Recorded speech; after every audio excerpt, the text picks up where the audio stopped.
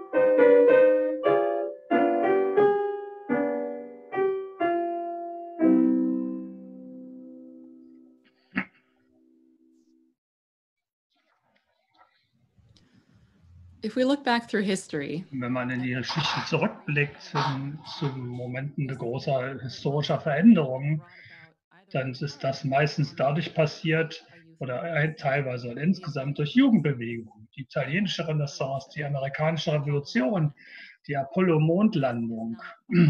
Das ist nicht durch Zufall passiert, da ist ein Prinzip dahinter. Ein Prinzip, das Lyndon LaRouche erkannt hatte, als er ganz zurück zu seiner eigenen politischen Vergangenheit zurückgegangen ist in den 1960ern und den Jahrzehnten danach. Junge Leute repräsentieren die Zukunft, sie, sie schaffen sie.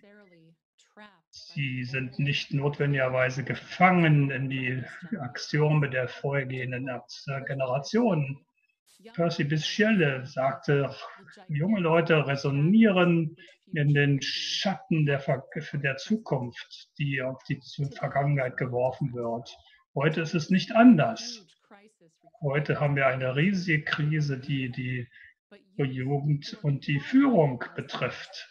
Doch die Jugend muss sich qualifizieren, die Zivilisation anzuführen. Ich möchte also unsere Redner anführen, vorstellen und wie das funktioniert. Herr Gatzap-LaRouche wird zuerst sprechen, von Daniel Burke gefolgt, ein Hauptorganizer des Schiller-Instituts und auch, er ist auch kandidiert auch für den Senat in New Jersey. Dann hören wir von verschiedenen Leuten, einschließlich Leuten, die äh, die Bemühungen anführen, junge Leute in verschiedenen Teilen der Welt zu erreichen. Carolina Domingos in Mexiko, Shirin Sultan in Frankreich. Und man, wir werden auch hören von einigen der Leuten, jungen Leute hören, die in, der, in einem Dialog mit Selber Zicklerich stehen. Äh, sie organisieren Interventionen in ihren eigenen Ländern im, im, im Namen ihrer, unserer Politik. José Vega in Vereinigten Staaten, Sebastian de Marni in Peru, Terrero in Kolumbien, Daniel Dufresne in Mexiko. Wir werden von Franklin Ivari in Tansania hören, in Atef in Jemen, Sarif Yahim aus Marokko, der in Paris studiert, und äh, Frau Brobiak in den Vereinigten Staaten. Dann werden wir einen Dialog führen, wo wir neue, weitere junge Leute hören in einem Chor. Bevor ich äh, Helga ähm, das Wort erteile, möchte ich einen Clip von Lynn LaRouche spielen. Dieser Clip ist aus einer Rede, die äh, er vor einer Versammlung von jungen Leuten im Februar 2003 gehalten hat. Was, was er diskutiert werden wird, ist die, die Verantwortung für die Jugend. Historisch betrachtet kann nur eine bestimmte Art von Jugendbewegung die Dinge ändern. Ihre Generation, aber auch diejenigen unter ihrer Generation, die noch leben und lebensfähig sind die sich mit der Tatsache konfrontiert, dass die Generation ihrer Eltern ihnen eine Welt ohne Zukunft geschenkt hat mit dieser Kultur, die heute forscht, können sie sich nicht arrangieren. Es gibt keine Möglichkeit, denn sie können da nicht überleben. Also sie wissen das.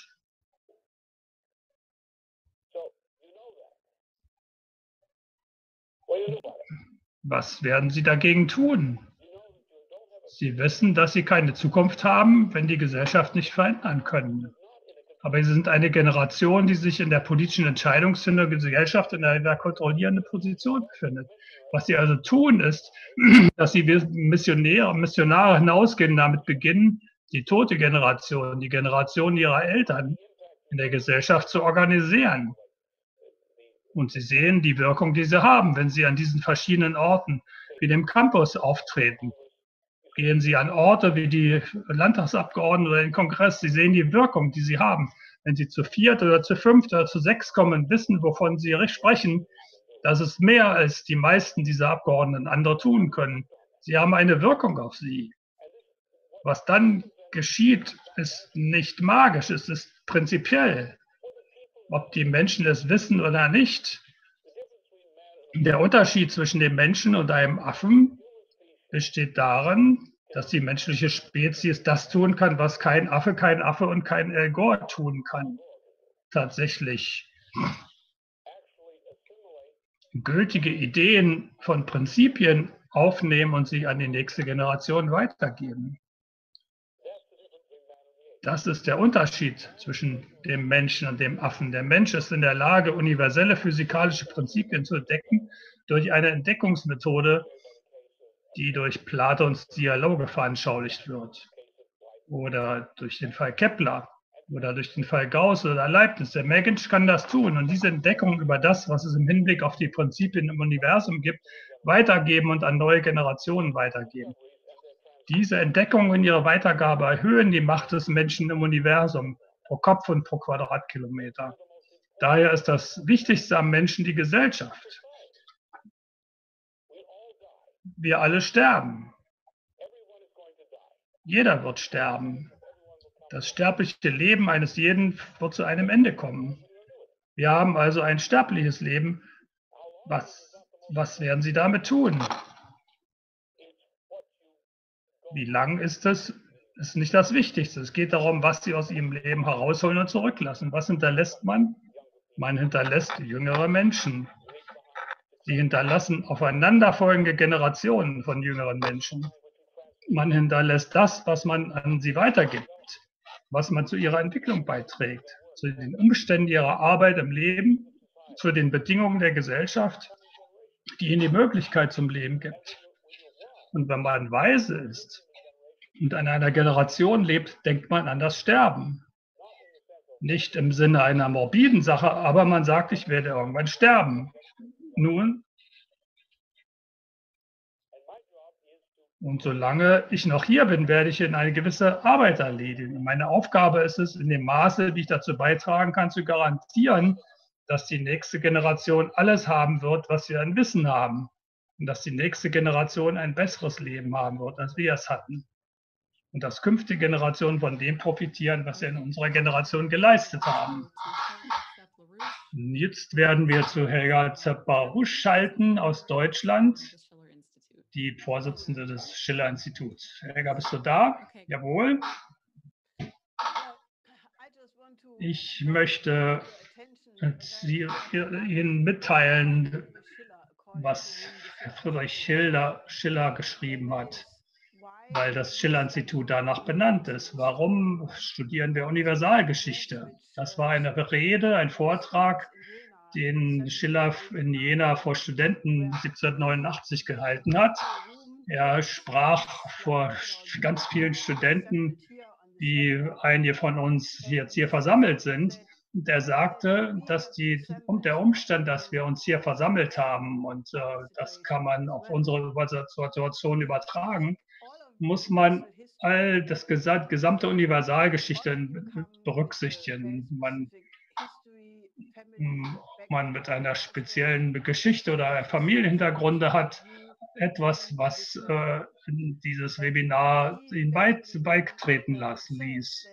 Der sagt, dass ähm, das, was Menschen zusammenbringt und einzigartig macht, äh, die auf den historischen Moment darauf zu reagieren. Wir wären heute nicht hier, ohne den Mann, der, den Sie gerade gehört haben, ein verstorbener Ehemann Lindlausch, der wirklich der spektakulärste, wissens, wissensreichste Mann seiner Zeit war. Er wusste wirklich praktisch alles. Er hat achtmal als Präsident kandidiert. Er hat äh, ist in der Welt herumgereist, in Mexiko und Indien, in afrikanischen Ländern, die alle ausgedrückt haben, dass sie der einzige Amerikaner sei, den sie vertrauen konnten. Und er hat eine einzigartige Methode der wissenschaftlichen Erkenntnis entwickelt. Er sagte ganz wichtige Dinge voraus, in, in der wir uns heute auch befinden. Er sprach von einer Pandemie, von einem, von einem systemischen Kollaps des Systems. Und äh, es war offensichtlich nicht der Fall damals, denn, denn alles schien richtig zu laufen wenn Leute nach ihm, ihm gehört hätten, wären wir heute nicht in der Situation, in der wir uns befinden. Er hatte eine unglaubliche Vision, wo die Menschheit sein sollte, was sich ausgedrückt hat in einem tollen Film, Die Frau im Mond, was ausgedrückt ist in seinen Schriften, die nächsten 50 Jahre der Erde, die alle extrem visionär, visionäre Ideen war, wohin die Welt, Menschheit gehen sollte. Aber ich möchte eine Qualität hervorheben, die äh, ihn unterscheidet von wirklich ganz allen anderen Leuten. Er hat eine unglaubliche Leidenschaft für die Menschheit. Und da es äh, heute nicht so beliebt ist, dass äh, Menschen, dass Jugendliche Passion, Leidenschaft für die Menschheit haben sollten, dann ermutige ich Sie, diese Agape von Lindner Rouge aufzugreifen. Denn wenn wir die Menschheit, die Zivilisation retten wollen und Sie sollen die retten, denn es ist Ihre Zukunft, dann brauchen wir genau diese Art unglaubliche Liebe für die Menschheit. Und da ist, dann gibt es kein Problem, das man nicht lösen kann. Das ist als eigentlich, was ich vorausschicken will. Vielen Dank, Helga. Als nächstes werden wir von Daniel Borg hören. Er ist ein Organizer, Mitarbeiter mit dem Schill-Institut in den USA und er redet nun über das Thema, wenn ihr an deren Stelle sitzen würdet, was würdet ihr tun? Danke, Megan. Das Schill-Institut hat diese Konferenz mit dem dringenden Ziel einberufen, ein Gipfeltreffen der Führer der sogenannten vier Mächte zustande zu, springen, zu bringen.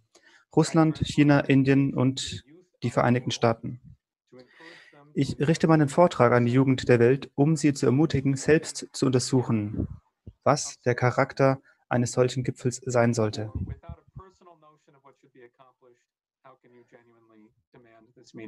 Denn wie könnt ihr, ohne eine persönliche Vorstellung davon zu haben, was erreicht werden sollte, wirklich verlangen, dass dieses Treffen stattfindet? Meine Frage lautet also, wenn ihr dort sitzen würdet, also an deren Stelle sitzen würdet, was würdet ihr tun? Ihr könnt auch stehen, sitzen ist nicht obligatorisch. Es könnte nützlich sein, mit der Frage zu beginnen, wer genau es ist, an dessen Stelle wir sitzen. Nicht im Sinne von, wer sind Trump, Putin, Xi und Modi persönlich, aber eher, wer ist ein nationaler Führer und was sind seine Verpflichtungen? Also, welche Autorität wird euch übertragen, wenn ihr ihren Platz annehmt? Und woher kommt diese Autorität? Einige, wie vielleicht John Bolton, würden sagen, dass die Autorität der US-Präsidentschaft in ihrer gewaltigen Macht liegt, der militärischen Macht, die Macht zu töten. Dies sind die Erben von Thrasymachus, regelrechte Satanisten, die in der Tat den Begriff Autorität auslöschen indem sie die Kraft zur höchsten ähm, Instanz krönen. Kraft ohne Rücksicht auf ihren Urheber. Dieser Begriff der Autorität ist genau derjenige, der ein Gipfeltreffen verhindert. Es ist wie Mike Pompeos Doktrin der Abschreckung. Töte sie zuerst, dann können sie nichts Unrechtes tun. Für viele Amerikaner liegt die Quelle der Autorität eines Präsidenten im Begriff der Demokratie. Da wir unseren Präsidenten gewählt haben, erhält er seine Autorität vom Volk. Er sollte ihren Willen vertreten. Das sind die Leute, die nicht mein Präsident auf ihre Autoaufkleber schreiben. Was aber, wenn ihre Bürger aufgrund der Irreführung in der Vergangenheit zu einem Haufen wahnsinniger Degenerierter geworden sind? Was, wenn Ihr Wille darin besteht, Drogen zu nehmen und Videospiele zu spielen? Das wäre ein schrecklicher Gipfel. Wenn wir unsere Herangehensweise ändern und sagen, dass, die, dass diese Autorität von der Zustimmung der Regierten und nicht vom Willen des Volkes herrührt, dann stellt sich eine offensichtliche Frage.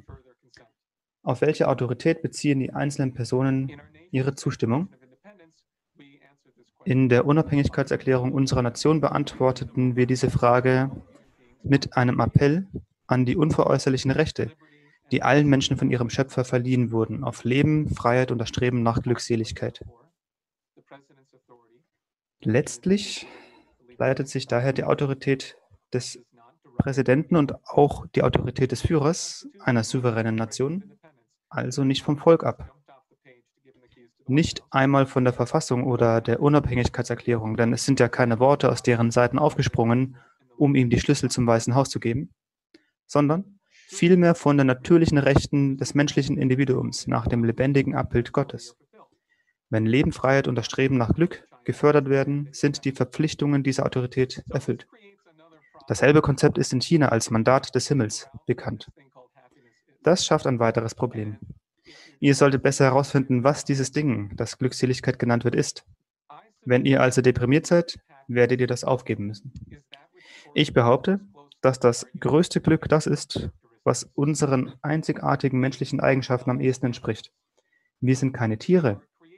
Wir sind kreative Geschöpfe. Wir denken, wir entdecken. Wir widmen uns der Zukunft, nicht der Gegenwart, sondern der Zukunft. Hier kann ich euch von der Idee erbringen, dass ihr wichtig seid, weil ihr jung seid. Nein. Es liegt daran, dass ihr Menschen seid. Ich zitiere Herrn LaRouche. Das, das Naturgesetz ist die Hypothese, die dem notwendigen und hinreichenden Grund für das erfolgreiche Fortbestehen der Menschheit entspricht. Das heißt, der menschliche Fortschritt im Universum hin zu einer immer größeren Beherrschung seiner Prinzipien ist eine wesentliche Funktion dieses Universums. Und wenn wir das machen, dann arbeiten wir in Kohärenz mit dem Universum. Wie der deutsch-amerikanische Weltraumpionier Kraft Erike sagte, indem er sich durch das Universum ausdehnt, erfüllt der Mensch sein Schicksal als ein Element des Lebens das mit der Kraft der Vernunft und der Weisheit des moralischen Gesetzes in ihm selbst ausgestattet ist. Ich denke also, es ist keine Übertreibung zu sagen, dass die Autorität dieser vier Führer, dieses neue Paradigma zu schaffen, von der Kolonisierung des Sonnensystems und implizit der Galaxie abhängt. Euer heutiges Handeln ist notwendig, also das ist das menschlichste Ding, was wir heute tun können. Euer heutiges Handeln ist notwendig für die vor uns liegende Aufgabe, die für die Schaffung dieser Zukunft von entscheidender Bedeutung gewesen sein wird.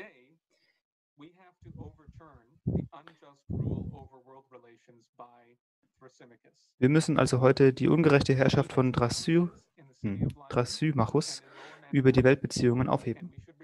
Seine Paläste in der Londoner City, in Lower Manhattan und jedem anderen internationalen Finanzzentrum sollten wieder in Besitz genommen werden und seine Massenvernichtungswaffen, also die Finanzderivate in dem Fall, sollten in einer Höhle begraben werden, wo sie niemandem schaden können. Ein solches Vorgehen würde das Zeitalter des Prometheus entfesseln, wenn solche Wunder vollbracht werden wie die Begründung einer Freiheit von materieller Not für jedes Menschenkind. Eine Zukunft, wenn selbst der Mond und die Erde, die laut Percy Shelley schon immer verliebt waren, endlich heiraten werden, dann wird die Zeremonie zur Gründung des ersten internationalen Monddorfes stattfinden. Und falls Sie denken, ich sei zu optimistisch, denken Sie an die Worte von Lysander Spooner aus seiner Abhandlung von 1860, Die Verfassungswidrigkeit der Sklaverei. Er sagte, das Naturrecht kann von willkürlichen Institutionen überboten, überboten werden. Aber sie wird ihnen niemals helfen oder sie aufrechterhalten. Dies zu tun, hieße für sie Widerstand zu leisten und sogar ihre eigene Autorität zu leugnen. Es würde den Fall eines Prinzips darstellen, das gegen sie selbst kämpft und sich selbst überwindet. Stattdessen würde sie bei der ersten Gelegenheit ihre eigene Autorität geltend machen. In dem Augenblick, in dem das Willkürrecht durch seine eigene Beschränkung erlischt, nimmt das Naturrecht ihre Herrschaft wieder auf. Hier finde ich also die Aufgabe der Jugend. Betrachtet euch nicht als Jugend an sich, sondern als Praktizierende der natürlichen Rechte des Menschen. Entdeckt selbst die Grenzen des Willkürgesetzes der Oligarchie, das die Menschen als Ganzes daran gehindert hat, im Einklang mit dem Naturrecht zu handeln. Was sind die Grenzen der Macht eines Tyrannen? Wo ist die schwache Flanke des Feindes? Ich glaube, sie liegt in der Schwachheit des sogenannten postmodernen Paradigmas. Die sogenannte vorherrschende Meinung sagt uns, dass wir frei von Urteilen, frei von Verantwortung, frei von Regeln oder Grenzen für unser Verhalten sein, sein sollten oder wollen freies WLAN oder immer beliebter Wir werden ermutigt, die Gesellschaft so zu führen, wie die Big Tech-Firmen die sozialen Medien führen. Blockiert jeden, dessen Ansichten von euren abweichen. Diese sind nicht menschlich. Ihr habt das Recht, ihr Leben zu ruinieren, wenn es notwendig ist.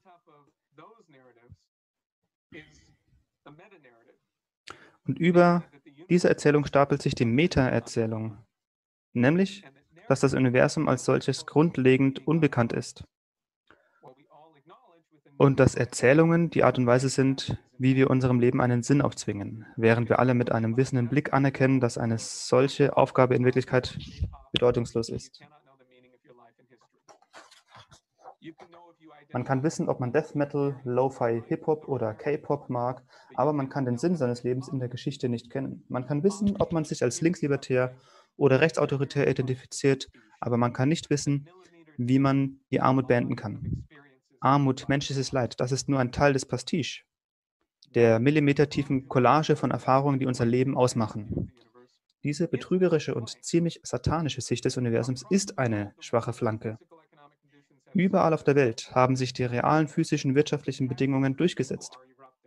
Die Leidenschaften der Menschen brechen aus und werden manipuliert, um uns weiter zur Massentötung der verarmten Weltbevölkerung zu treiben. Aber mein Glaube ist es, dass eine kleine Zahl von Menschen, die sich dafür einsetzen, eine höhere, schönere Vorstellung von der Natur des Menschen zu entwickeln, kann einen bestimmten Ton anschlagen und den Kurs ändern, und zwar den Kurs der Geschichte. Und ich denke, das ist nicht nur ein hoffnungsvoller Wunsch, sondern es ist die Hoffnung an sich, auf die wir uns immer verlassen haben. So, zum Ende,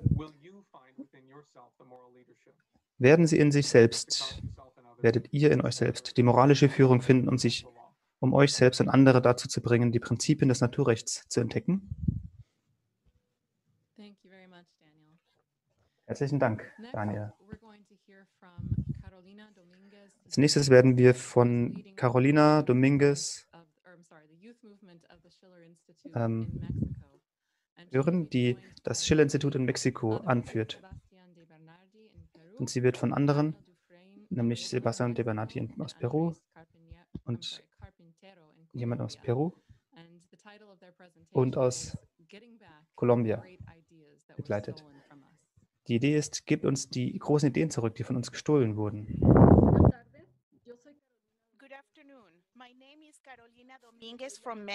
Guten Tag, mein Name ist Carolina Dominguez aus Mexiko. Ich möchte Sie zu dieser internationalen Konferenz begrüßen, die ein Ergebnis der Bemühungen des Schiller-Instituts ist, dem ich seit einigen Jahren angehöre.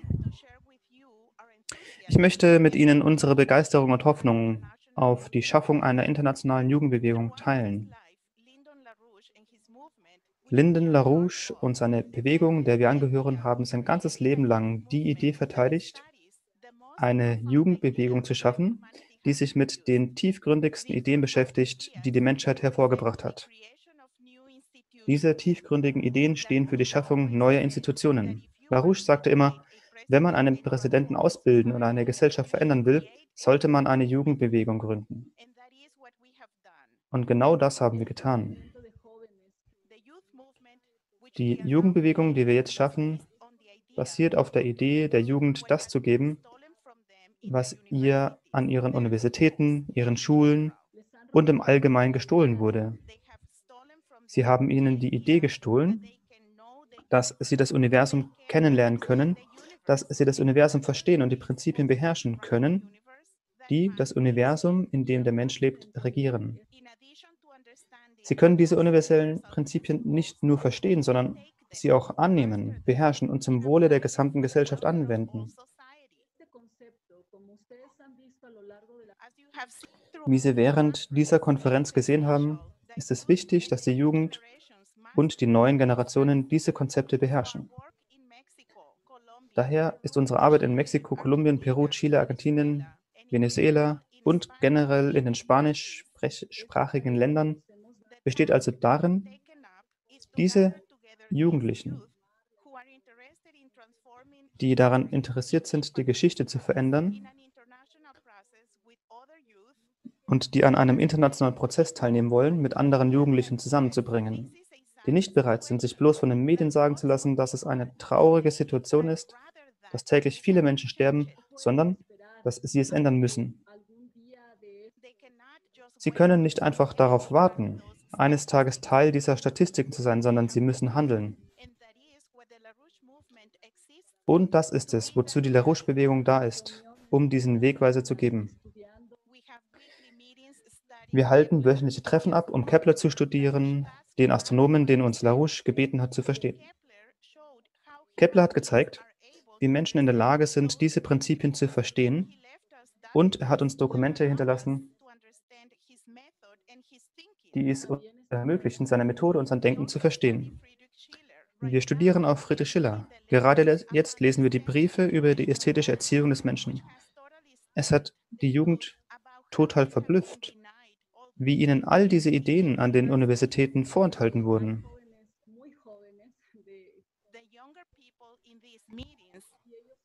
Die Jüngeren in diesen Versammlungen sind diejenigen, die am meisten betroffen sind, weil sie denken, dass ihre Ausbildung nur daran bestand, Dinge zu lernen, eine Prüfung zu bestehen und sie dann zu vergessen.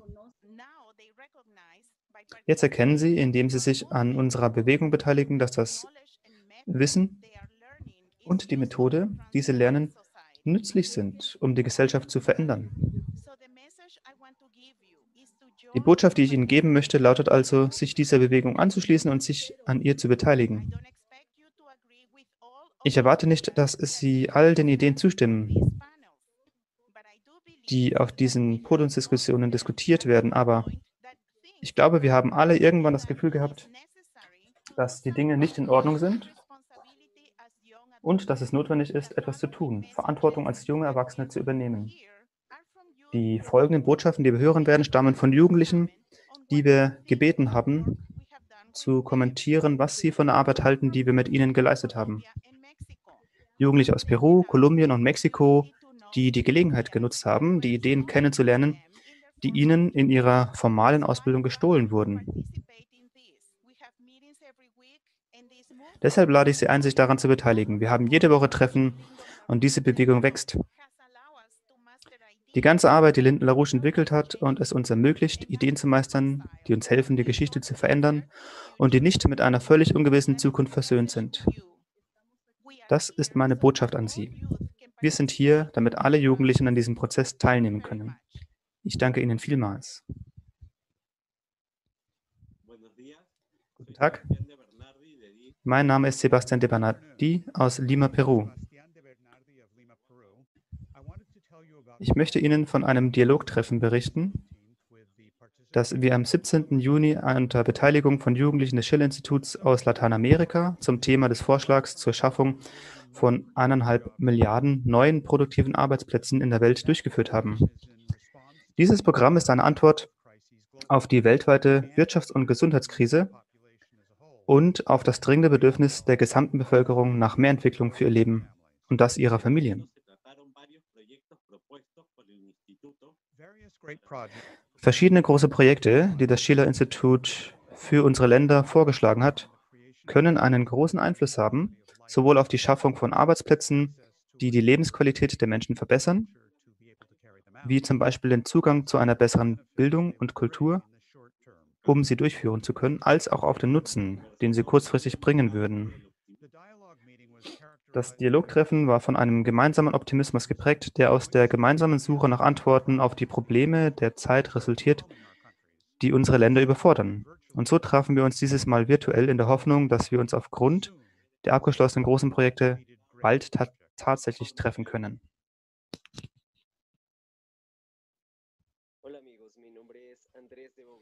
Hallo Freunde, mein Name ist Andres aus Bogotá, Kolumbien. Ich möchte Sie einladen, die Vorschläge der Bewegung kennenzulernen, die Helga und Linden LaRouche ins Leben gerufen haben, um die wirtschaftliche und soziale Entropie umzukehren, die uns das heutige Chaos beschert hat. Wir müssen lernen und uns die Werkzeuge aneignen, um eine saubere und nachhaltige Zukunft zu schaffen, die von Vernunft, Moral und Kunst inspiriert ist. Wir Jugendlichen werden die Welt der nächsten 50 Jahre aufbauen. Schließen Sie sich dieser wunderbaren Bewegung an und beteiligen Sie sich an ihr.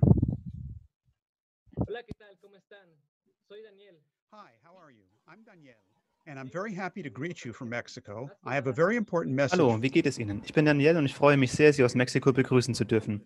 Ich habe eine sehr wichtige Botschaft für Sie, vor allem für die Jugend. Wir leben in einer Welt, die sich immer schneller verändert. Aber das Einzige, was sich nicht geändert hat, ist die Unterdrückung durch die Mächtigen, die mit den Menschen der Welt spielen. Wir leben im wichtigsten Zeitalter der Menschheit, eine Menschheit, deren Zweck es ist, zu wachsen und jene Aspekte des Lebens zu verbessern, die uns menschlich machen. Liebe, Leidenschaft, Freude und Methodik. Die Mächtigen haben uns all dies genommen und sie werden dies auch weiterhin tun, wenn wir diese Realität nicht ändern. Glücklicherweise gibt es einen Plan. Einen Plan, der von den tiefgründigen Überlegungen von Lyndon LaRouche inspiriert ist, der im Wesentlichen ein Lehrstück, ein Lehrstück für den Kampf gegen die Probleme ist, die durch die kranken Ambitionen der Kreise der Wall Street und der City of London verursacht werden. Dieser Plan erfordert die größtmögliche Zahl von Jugendlichen mit ihren Träumen und Hoffnungen, um eine bessere Welt zu schaffen, in der man leben und nicht nur überleben kann. Das Glass-Steagall-Gesetz wird umgesetzt, die Banken werden unter Quarantäne gestellt, weil sie bankrott sind und die Blase der giftigen Derivate wird eingefroren. Wir werden fordern, dass die Staats- und Regierungschefs Russlands, Chinas, der Vereinigten Staaten und Indiens zusammenkommen, um über die nächsten, nächste Phase des industriellen Wachstums zu entscheiden, die es uns ermöglicht, mehr zu wachsen und gleichzeitig weniger zu verbrauchen. die Welt mit Hunderttausenden von Kilometern Hochgeschwindigkeits-Eisenbahnstrecken zu verbinden, mehr als 1,5 Milliarden Arbeitsplätze in der ganzen Welt zu schaffen. Die Zeit für die Veränderung der Welt ist gekommen und wir brauchen sie jetzt. Lassen Sie uns jetzt kämpfen, um diese Realität möglich zu machen. Lassen Sie uns alle kämpfen, um die Welt zu befreien, um nationale Barrieren abzubauen, um Ehrgeiz und Hass zu beseitigen. Lassen Sie uns für die Welt der Vernunft kämpfen, für eine Welt in der Wissenschaft, in der der Fortschritt uns alle zum Glück führt. Brüder, im Namen der Freiheit müssen wir uns alle vereinigen.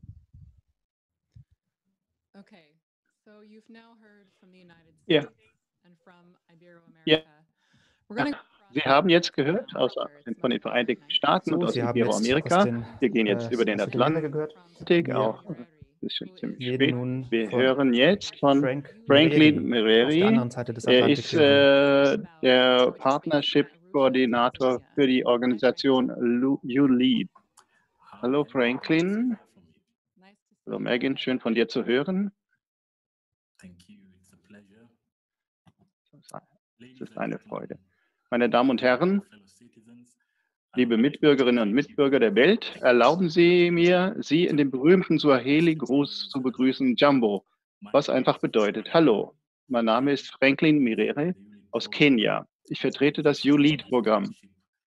Das ist Ostafrikas Vorzeige Vorzeigeprogramm für die Entwicklung junger Führungskräfte, das sich dafür einsetzt, das Potenzial junger Führungskräfte für eine wohlhabende Region freizusetzen. ULEAD ist es ein kollektives Jugendprogramm, das vom MS Training Center und dem Hauptquartier der Ostafrikanischen Gesellschaft in Arusha in Tansania ausgerechnet wird. Es wird vom ULEAD-Konsortium aus über 25 staatlichen und nichtstaatlichen Partnern aus allen sechs Mitgliedstaaten der Ostafrikanischen Gemeinschaft mitfinanziert und unterstützt. Wir sind uns der wunderbaren Arbeit bewusst, die das Schiller-Institut leistet, indem es sich bei Regierungen einsetzt und diese mobilisiert, um definitiv auf die gegenwärtigen Krisen zu reagieren. Insbesondere durch die Bemühungen leidenschaftlicher junger Menschen auf der ganzen Welt, die sich verpflichten, Verantwortung zu übernehmen, um ihre Regierungen zum Handeln zu bewegen. Bei ULEAD entwickeln wir eine Online-Job-Plattform für ostafrikanische Jugendliche, um die wirtschaftlichen Folgen des Coronavirus abzumildern. Die Plattform wird qualifizierte Jugendliche und ja, dass die Folgen dieser äh, Krise seit März und April. Die Plattform wird qualifizierte Jugendliche und potenzielle Arbeitgeber auf einer Plattform zusammenbringen. Fünf- neun- 59 Prozent der Menschen haben negative Auswirkungen auf ihre Einkommen. Und die Mehrheit arbeitet nicht von, von zu Hause, weil das nicht möglich ist. Viele äh, Länder, Entwicklungsländer haben keine äh, Sozialhilfensysteme. that have been brought about by the coronavirus. The platform will bring together skilled youth and potential employers. Die Plattform vereint junge Menschen und Arbeitgeber. Und der Schwerpunkt ist auf verifizierten Fähigkeiten mit einem Punktesystem für erfolgreich abgeschlossene Aufgaben, was Vertrauen schafft.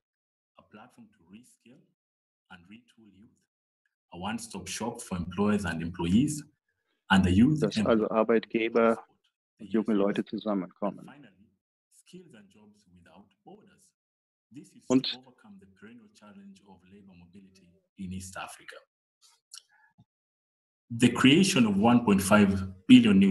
die Schaffung von 1,5 Milliarden neuen Arbeitsplätzen auf der Welt und die gezielte Finanzierung effizienter Gesundheitsinfrastrukturen in jedem Land wird mehr als nur Gespräche erfordern.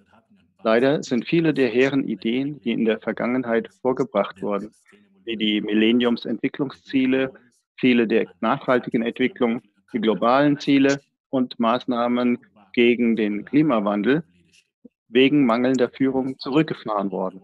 Was der Welt im Augenblick vor allem fehlt, sind wahre Führungspersönlichkeiten, die sich nicht kaufen oder verkaufen lassen.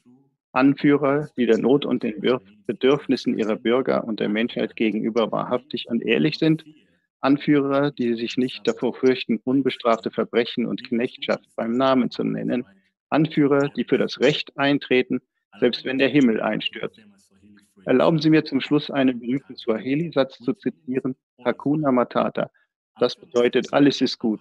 Die meisten von Ihnen haben diesen Satz wahrscheinlich schon in Zeichentrickfilm gehört. Der Satz appelliert an den optimistischen, gutmütigen Geist der Menschen auf der ganzen Welt.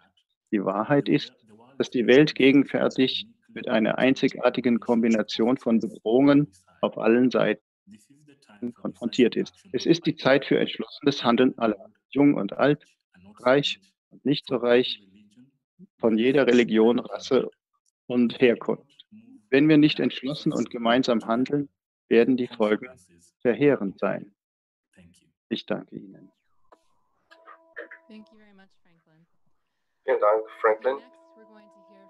Wir hören jetzt von Sarah Fahim, eine Studentin aus Marokko, die in Paris studiert und mit unseren französischen Mitgliedern zusammen.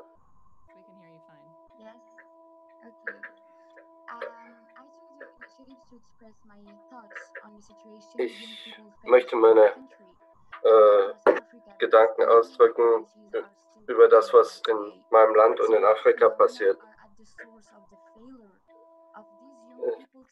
Diese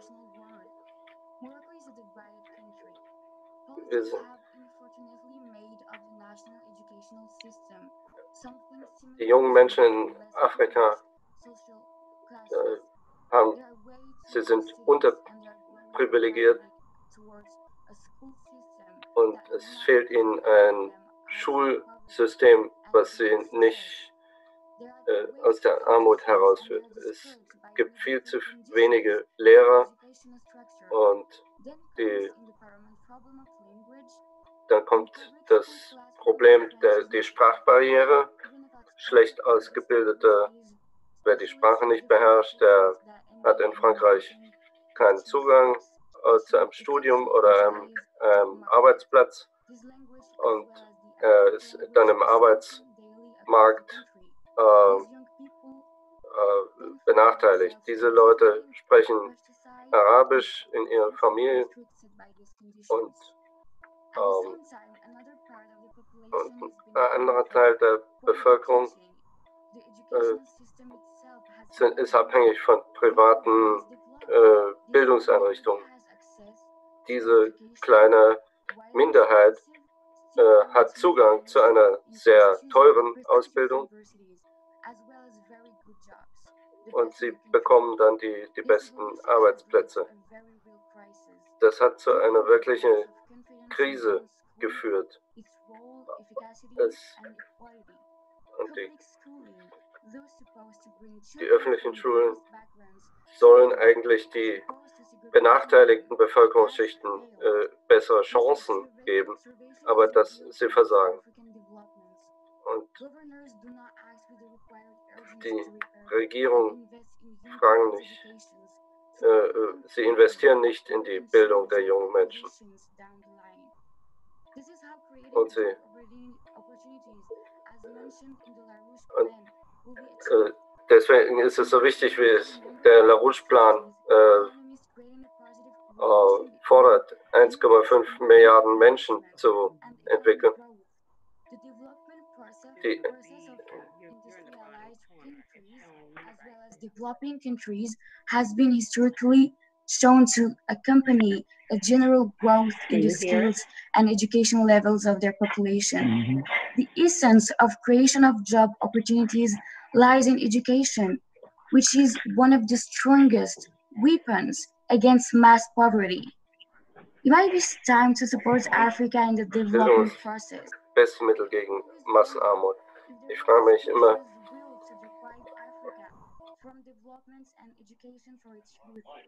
Can knowledge be dangerous? The answer to this question came yeah. to me when I paid closer to colonialism in this continent. It is important to understand that in today's world, in der heutigen Welt ist es wichtig,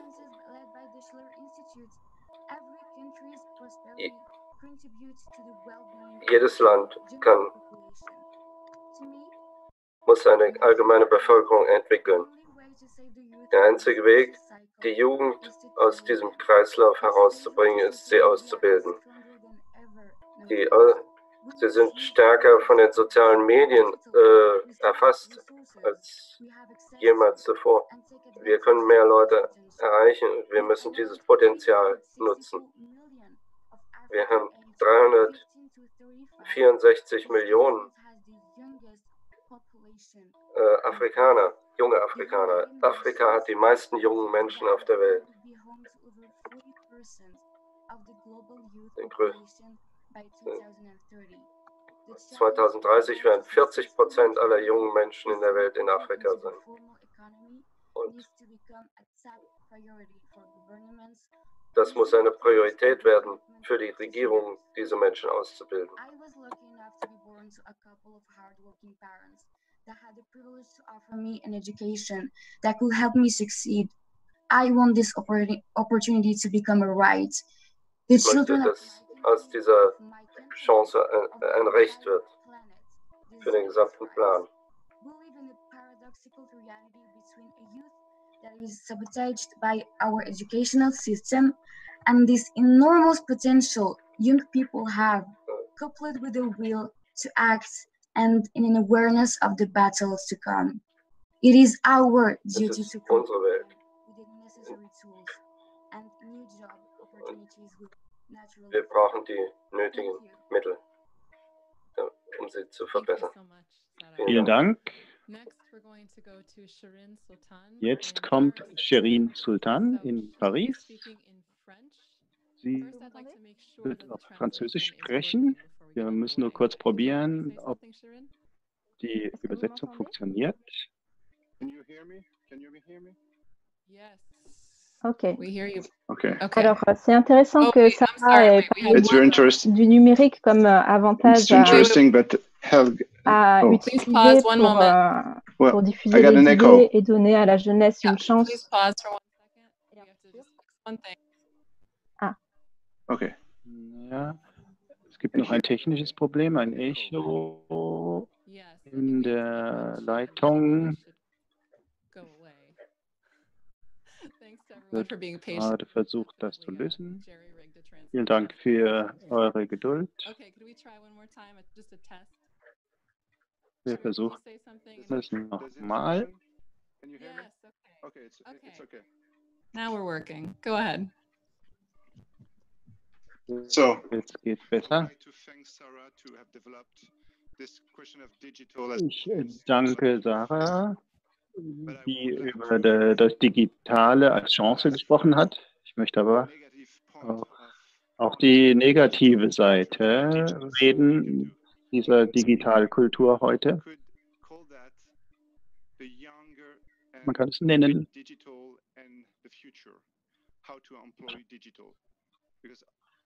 Jugend, das Digitale und die Zukunft. Oft sind Kinder, deren Eltern ihnen, ihnen sagen, ihr müsst erst arbeiten, bevor ihr Geld ausgeben könnt. Und ihr braucht gute Schulnoten. Dann, und wenn Sie gute Noten haben, dann geben wir Ihnen ein, eine Stunde Fernsehen oder eine Stunde Internet. Das ist eine Art, Kinder zur Erziehung zu zwingen, zu drängen. Die Schulen sind nicht so gut, weil das Niveau ist gesunken. Internationale Studien, Vergleichsstudien zeigen, dass äh, das Niveau niedriger wird, dass es die Ungleichheit zunimmt. Wir sehen, die jungen Leute haben viel Erfolg auf sozialen Netzwerken, Instagram, YouTube und so weiter. Also einige junge Leute. Das Ziel ist dabei, Medien, weil wir gesehen werden, viele Zuschauer haben. Und junge Leute wollen Influencer sein. Da gibt es eine Konkurrenz. Und das Schlechte dabei ist, einige werden Verkäufer, selbst sogar gegen ihren Willen. Sie verkaufen Dinge und verkaufen damit sich selbst. Und sie verkaufen Produkte, zum Beispiel Make-up, Kleidung. Und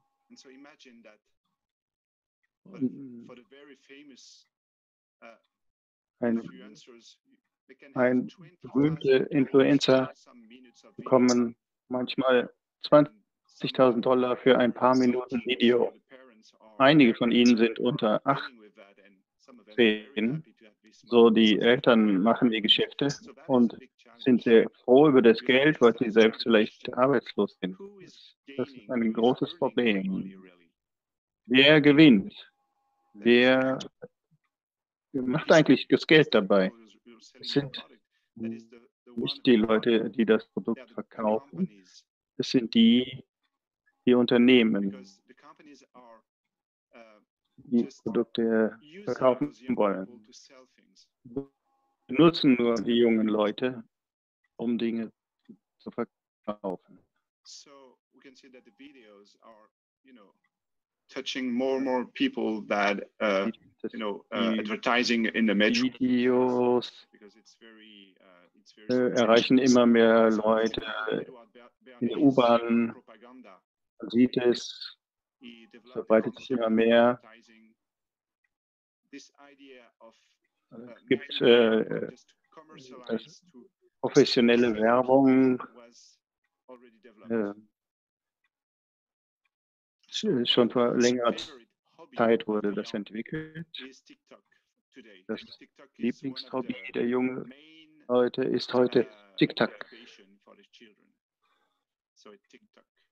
Das ist ein, für die Kinder eine der wichtigsten Beschäftigungen. Millionen junge Leute nehmen daran teil und, und abonnieren das Netzwerk. Sie tanzen dann zu Musik, Popmusik und äh, versuchen es möglichst perfekt zu machen, um äh, äh, bekannt zu werden. Dann, und üben immer mehr und mehr, bevor sie das Video teilen. Es gibt jetzt Kinder, die Schule, im Unterricht oder zu Hause diese Bewegungen schon unbewusst machen. Sie werden, der Körper wird zum Roboter. Ihr Verhalten wird da beeinflusst. Diese Tanz, Tänze und so weiter. Die Leute teilen ihre Fotos, ihre Selfies an anderen Orten. Sie bleiben zu Hause, teilen Bilder, statt zu reisen und wirklich andere Menschen zu treffen. Die Leute werden Sklaven der sozialen Netzwerke.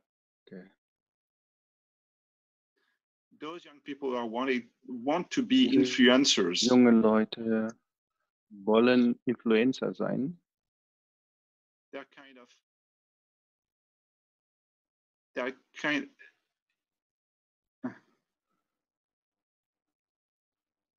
you could say that.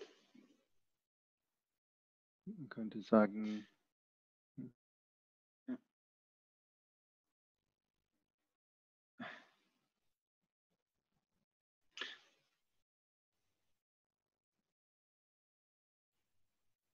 I, am trying to, to get the idea. Uh, so yeah, you have a lot of those young people who have access to a higher degree and they want to be uh, viele junge Leute, die, die, die wollen nicht Influencer per se sein, aber sie wollen in diesen Bereichen sein. Ähm, sie wollen Start-ups machen. Ähm, und sie sind abhängig, weil man Geld braucht am Anfang und das äh, müssen sie bekommen von den großen Unternehmen.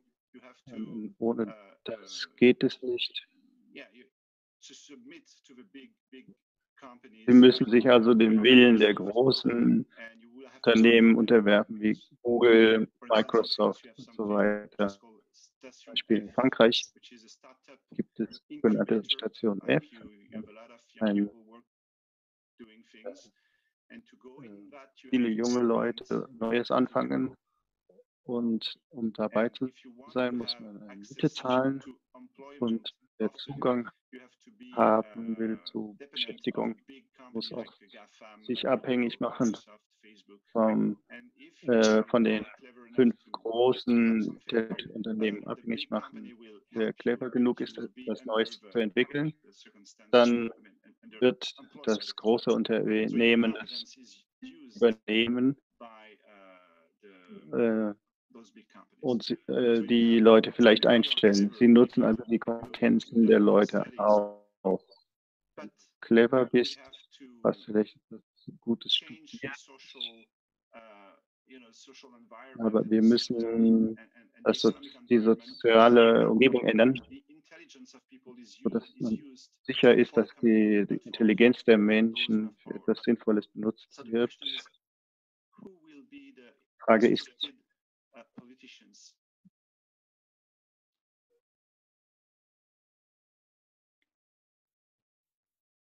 Because now you have a lot of politicians who are Es geht um Politik.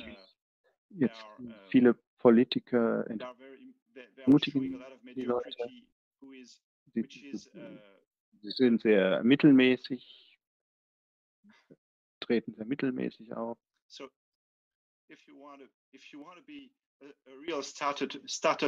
Wer wirklich ein Start-up sein will und das System ändern will, der muss unsere Bewegung äh, mitmachen, sich unserer Bewegung anschließen, studieren, wie Kepler das Sonnensystem studierte. Das bestimmt unser Vermögen zu verstehen, die vier Gesetze, die LaRouche entwickelt hat, zum Beispiel. Und ich möchte euch danken. Danke fürs Zuhören. Vielen Dank, Shirin Sultan. Jetzt kommen wir zurück über den Atlantik in die Vereinigten Staaten zu Lizzie Broberg, die uh, ursprünglich aus Dänemark stammt, aber jetzt in den Vereinigten Staaten ist. Und die Frage, die sie stellt, ist, sind Sie eine geologische Kraft? Ich will beginnen mit einem Zitat des großen russisch-ukrainischen Biogeochemikers Wladimir Benatsky. Die Noosphäre ist ein neues geologisches Phänomen auf unserem Planeten. In ihr wird der Mensch zum ersten Mal zu einer umfassenden geologischen Kraft. Er kann und muss seine Lebensumwelt durch seine Arbeit und sein Denken neu aufbauen, sie im Vergleich mit der Vergangenheit radikal umgestalten. Vor ihm eröffnen sich größere und umfassendere schöpferische Möglichkeiten. Was wird Ihre Rolle bei der geologischen Gestaltung der Zukunft sein? Wie werden zukünftige Geologen die unwiderlegbare Spur ihres Lebens in ihrem Studium über geologische Phänomene sehen? Wird der Boden nur ihre biologischen Überreste enthalten oder eine große poetische geologische Kraft offenbaren? Bernatsky hat das Studium der Natur des Lebens revolutioniert. Als er die chemische Zusammensetzung des Bodens untersuchen, entdeckte er, dass alle Organismen eine Wanderung von Atomen erzeugen, die den Körper durch Atmung, Stoffwechselaktivität und Fortpflanzung durchlaufen. Dieser Prozess neigt dazu, sich in höchstem Maße zu manifestieren. Zudem weist die Evolution der Arten eine Richtungsabhängigkeit auf, die nicht zufällig ist, sondern die biogene Wanderung der Atome verstärkt. Betrachtet man die Anhäufung von Fossilien und das Leben im Ozean, so erkennt man im Lauf der geologischen Zeit eine stetige Zunahme der Biomasse, des Fleischgehalts, köstlichere Meeresfrüchte, die Zunahme der Biomasse, energetischen Lebensweise wie Räuber, äh, Raubfische und Schwimmfähigkeit und des Nahrungsangebots. Sehen wir uns einige Beispiele dafür an. Vor 400 Millionen Jahren dominierte die Schwammgattung Sclerospongia. Danach nahmen sie ab und die Gattung Demospongia und Hexatinellidia übernahmen die Vorherrschaft.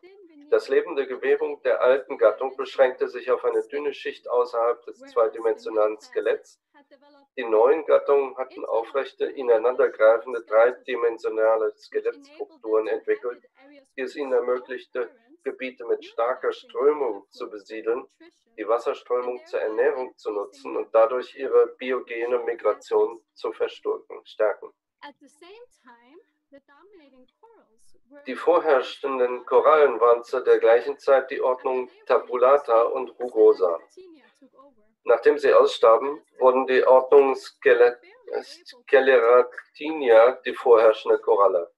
Während die alten Ordnungen kaum in der Lage waren, sich am Material anzuheften, waren sie, was sie anfällig für Störungen machte, konnte Sceleratinia durch seine Fähigkeit, sich am Trägermaterial festzuhalten und große Kolonien zu bilden, selbst größere Stürme überleben. Solche Gemeinschaften gingen eine Symbiose mit Mikroorganismen ein, die es ihnen ermöglicht, in nährstoffarmen Umgebungen zu überleben. Auch in Brachiopodia. Das sind Beispiele dafür, dass das Leben auf maximale Gestaltung und Evolution ausgerichtet ist.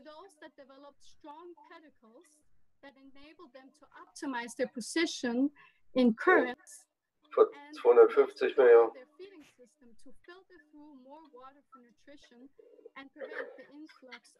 die weiteren Entwicklungen konnten dann die äh, mehr Nahrung aufnehmen. was due to the development of full mantle fusion and siphons, which enabled it to burrow more efficiently and thereby um, invade new ecospaces. Und äh, die späteren Gattungen waren dann in der Lage, sich weiter durch die Ozeane zu bewegen. Das ist ein Beispiel dafür, dass das Leben auf maximale Gestaltung und Evolution ausgerichtet ist. Gesteuert durch die Zunahme der biogenen Migration von Atomen in der Biosphäre. Die Noosphäre, die Domäne des menschlichen Geistes, ist in der Lage, diese Zunahme der, über Kognition und nicht über die Biologie zu steuern. In den Worten Bernatskis, seit dem Erscheinen der zivilisierten Menschheit vor Zehntausenden von Jahren verwandelt sich das Antlitz der Erde und die unberührte Natur verschwindet. Durch unser Denken sind wir in der Lage, die chemische Zusammensetzung des Universums wie keine andere Spezies und die über kurze Zeiträume hinweg durch außergewöhnliche individuelle Beiträge zu verändern. Soll sich also Ihr Leben hauptsächlich in der Biosphäre oder in der Noosphäre abspielen? Entscheiden Sie sich, eine große geologische Kraft machen werden? Was würde Shakespeare sagen? Ist viel zu schön, dem eigenen Selbst zu sterben. Darum mache nicht die Würmer zu deinen Erben. Danke, Lissy. Nächstes kommt eine kurze äh, Videobotschaft von Arich Atef, der Vizepräsident des Bildungsausschusses im BRICS-Jugendparlament in Sanaa in Jemen. Ah. Ich danke Ihnen, dass Sie mir die Gelegenheit geben, mit mir Ihnen über die Jugend in der Gegenwart und Zukunft zu sprechen. Ich bin Arich Atef, Vizepräsidentin des Bildungsausschusses im BRICS-Jugendparlament. Die Erfahrung, die wir im BRICS-Jugendparlament gemacht haben, hat uns die Fähigkeit gegeben, zwei Weltsysteme zu sehen, das alte und das neue. Dinge wie das verfügbare Wissen über fünf Schlüssel von LaRouche, die BRICS und ihre Definition haben den Jemen erreicht in englischer und arabischer Sprache. Da ich im Jugendparlament für die Gesundheitserziehung verantwortlich bin, vertraue ich darauf, dass alle Jugendlichen beiderlei Geschlechts den Willen haben, sich dem Krieg gegen politische Viren zu stellen, so wie sie tödlichen Viren begegnen würden. Und dies durch die richtige Gesundheitserziehung, die auf der physischen Ökonomie aufbaut, die wir vom verstorbenen Larouche gelernt haben. Zur Schönheit des Jemen. Die Zivilisation des Jemen hat einen wohlduftenden Geruch. Diese Zivilisation ist die Identität, die Berichte über das glückliche Wirtschaftswunder ausgelöst hat, wegen der Verschmelzung des alten Weihrauchhandels mit der neuen Seidenstraße. Es handelt sich um einen Musterbericht und alle Länder sollten seine Regeln befolgen. Abschließend möchte ich Ihnen mitteilen, dass wir am nächsten Dienstag den Weltparlamentariertag begehen werden. Die Welt feiert diesen Tag seit 2018, die Entwicklung, damit sie die Entwicklung in der parlamentarischen Arbeit fördern kann. So wollen wir das tun, um, damit wir die Ziele der dauerhaften Entwicklung national und international erreichen können. So our final speaker for the presentation portion of the panel today will be Jose Vega, who will speak to us from the Bronx, New York City in the United States. And his presentation is called A New Space CCC. Hello, everybody. I'd like to start by reading a quote by Schiller. Hallo, ich möchte mit einem Zitat von Schiller beginnen, das später von Beethoven vertont wurde. Seid umschlungen, Millionen, diesen Kuss der ganzen Welt. Brüder, über ein Sternenzelt muss ein lieber Vater wohnen. Ihr stützt nieder, Millionen. Ahndest du den Schöpfer Welt? Such ihn überm Sternenzelt. Über Sternen muss er wohnen. Ich glaube, nicht einmal Beethoven war sich dessen bewusst, aber er hatte schon lange vor Kennedy ein Weltraumprogramm im Kopf.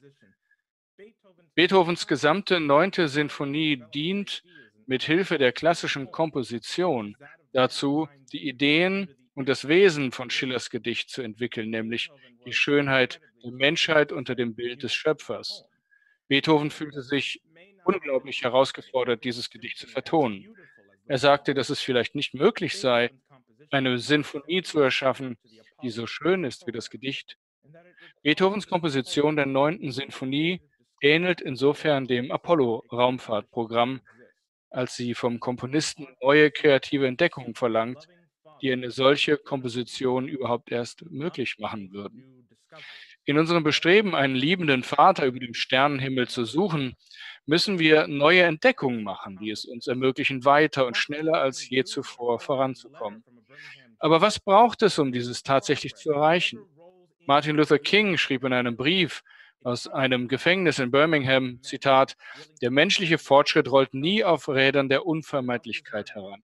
Er kommt durch den unermüdlichen Einsatz von Menschen, Mitarbeiter Gottes zu werden.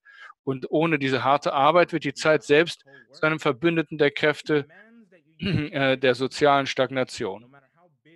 Zitat Ende. Was bedeutet das, Mitarbeiter Gottes zu sein? Er verlangt, dass man alles einsetzt, was man hat, egal wie groß oder klein es ist. Das erfordert großes Denken, nicht Kleinkariertheit. Nehmen Sie den ärmsten Bezirk in den Vereinigten Staaten, der die höchsten Covid-19-Übertragungs- und Infektionsraten hat, die höchsten Armutszahlen und die meisten Drogenkonsumenten und auch die höchste Zahl unentbehrlicher Mitarbeiter aufweist. Wie kann man von jemandem, der unter diesen Bedingungen lebt, erwarten, dass er mir glaubt, dass ich ihm sage, dass die Menschlichkeit größer ist als das in und in ihm das Potenzial für Groß, Großes steckt? Ehrlich gesagt, hat niemand mehr eine Wahl. Man muss mir glauben, denn wenn sie es nicht tun, werden das Land und die Welt um sie herum implodieren. Der Kampf für eine ehrliche Zukunft beginnt bei denen, die sie am meisten brauchen. Wir müssen eine Politik des New Deal fordern, eine neue Art von Civil Conservation Corps, das sich Space Civilian Construction Corps nennen wird. Darin kann sich jeder zwischen 18 und 26 Jahren sein gottgegebenes Recht nutzen, seine kreativen Fähigkeiten zu entwickeln, um eine wirkliche Zukunft hervorzubringen. Angenommen, Leute, die dieses Programm durchlaufen, sind jetzt dabei, in ihren Gemeinden Krankenhäuser zu bauen, in denen Millionen von Menschen lange nach ihrem Tod geboren werden oder Schulen bauen, in denen diese Millionen eine ähnliche Ausbildung wie sie selbst erhalten. Dieselben Leute fangen an, Kraftwerke mit einer höheren Energieflussdichte zu entwickeln, bei denen es teuer wäre, teurer wäre, ihnen jeden Monat eine Rechnung zu schicken, als ihr Haus mit Strom zu versorgen. Aber dann gehen sie über ihre eigenen Gemeinden und sogar über eigene Länder hinaus. Wenn sie älter werden und überall auf der Welt andere Programme um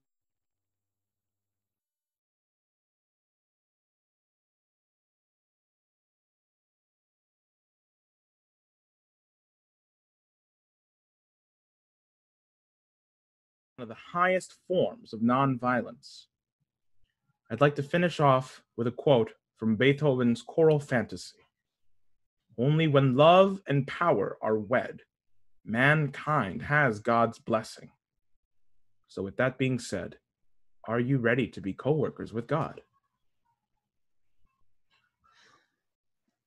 All right. Thank you very much, Jose. So, we're going to move into our question and answer session now. And what we're going to do is we have a number of young people who I mentioned earlier are part of the chorus of voices who are organizing, educating themselves on and Chor an Stimmen sind, die sich selbstständig organisieren, um Teil des neuen Paradigmas zu werden. Was wir wollen jetzt hier aufbauen hier wollen, aufbauen ist nicht wollen, ein formales nicht eine Frage-Antwort-Spiel, formale sondern wirkliche äh, Diskussion mit den Frage- und Panelisten. Antwortrunde, sondern wirklich eine Fragen Diskussion. mit einer Frage, oder vielleicht ist es ein werden- Kommentar von einem Ehrenmitglied der Jugendbewegung, dem äh, Staatssenator Theo Mitchell. Er ist ein ehemaliger Staatssenator vom, aus Südcarolina. Er ist ein Mitglied des Vorstands des Schiller-Instituts und ein langer Freund von Helga und Lyndon LaRouche und kämpft schon lange mutig für Gerechtigkeit. Senator Mitchell, herzlich willkommen. Können Sie uns hören? Oh, wir können Sie nicht hören. Can you try it again? No, we're still not getting audio from you. Can you make sure your microphone is unmuted?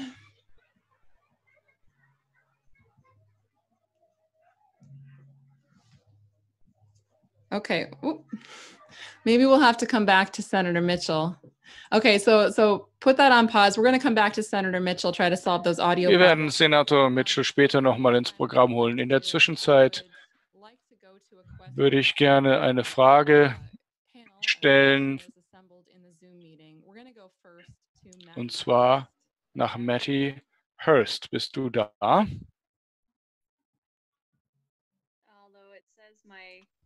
Uh, my video has been disabled. Hallo, leider ist mein Video ausgeschaltet, aber wir können dich hören. Also bitte.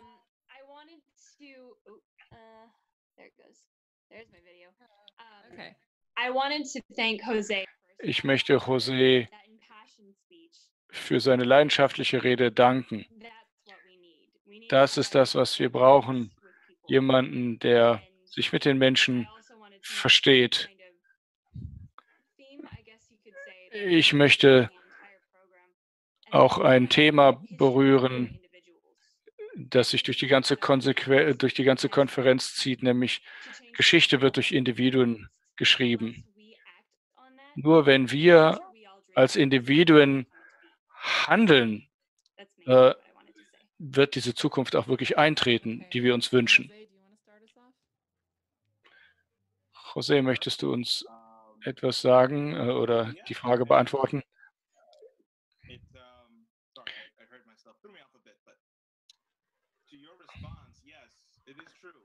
Ja, es ist wahr. Die Geschichte wird von Individuen verändert. Aber was nützt es, eine tolle Symphonie zu schreiben oder ein, ein Vertragsstück oder ein Essay, wenn niemand es anhört oder liest? Man muss die Menschen organisieren um deine Ideen herum. Martin Luther King Jr. war ein unglaublicher äh, Prediger, ein Befürworter der Gewaltlosigkeit, aber er hat eben, es waren die Menschen, die mit ihm zusammen organisiert haben, die seine Ideen wirklich möglich gemacht haben.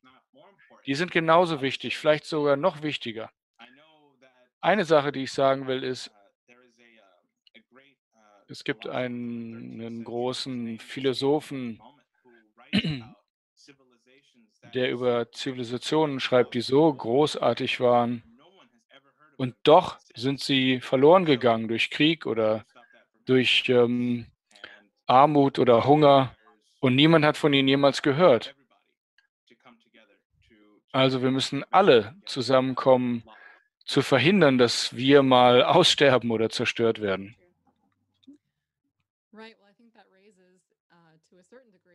Shirin was bringing up about the culture, and I wonder mm. if Shirin would like to come in on this and say something. We might just need to pause a moment to get the translation situation set up. Oh, no, she's in English. I forgot. Okay, Shirin. Uh, Shirin.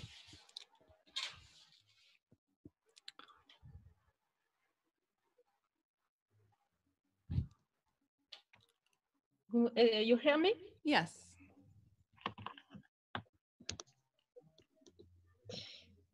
Um, I don't know what exactly I can add.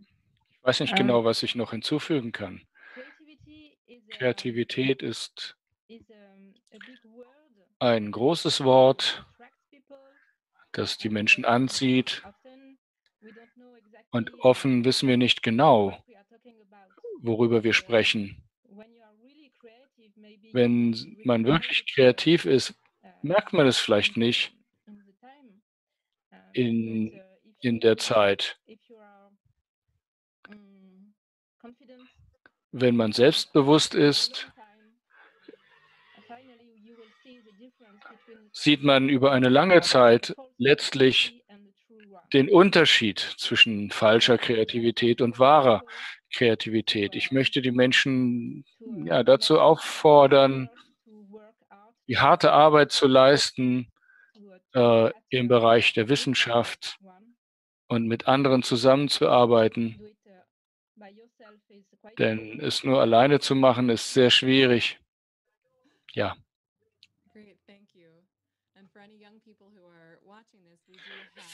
Für die jungen Leute, die jetzt zuschauen, es gibt auch Klassen und ähm, sozusagen äh, Bildungs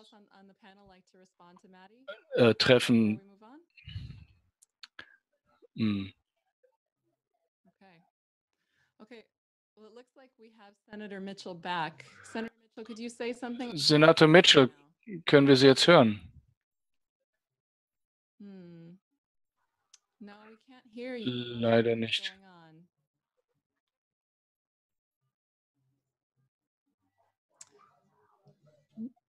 No. Okay.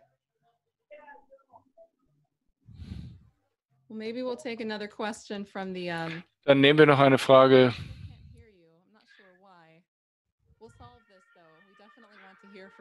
Äh, wir lösen das Problem doch. Wir möchten Ihre Stimme wirklich hören. Wir nehmen noch eine Frage von dem Zoom-Treffen hier.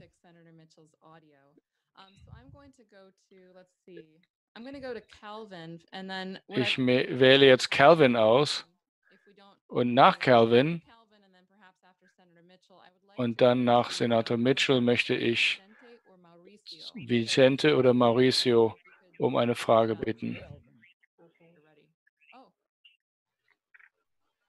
Is that Senator Mitchell? Well, yes. I'm being ja. Man, hat, man hat mich repariert.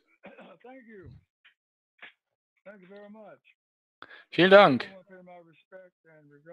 Ich möchte meinen Respekt äh, äußern gegenüber meinem Freund Helga, Freundin Helga.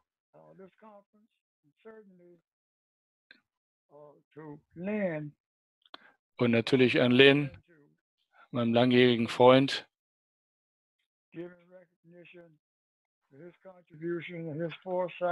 Und ich habe Respekt vor seinem Beitrag, seine Voraussicht,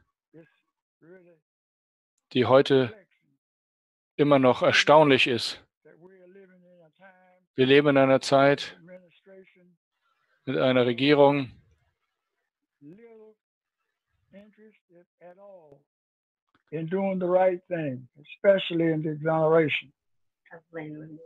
die, die leider nicht die, den Wiederherstellung des Namens Lyndon LaRouche bisher getan hat. Das Schiller-Institut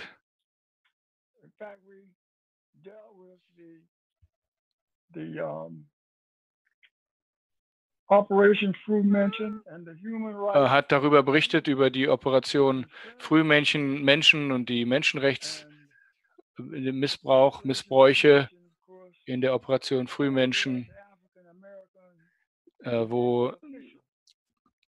wo vor allen Dingen gewählte Afroamerikaner äh, Ziel waren.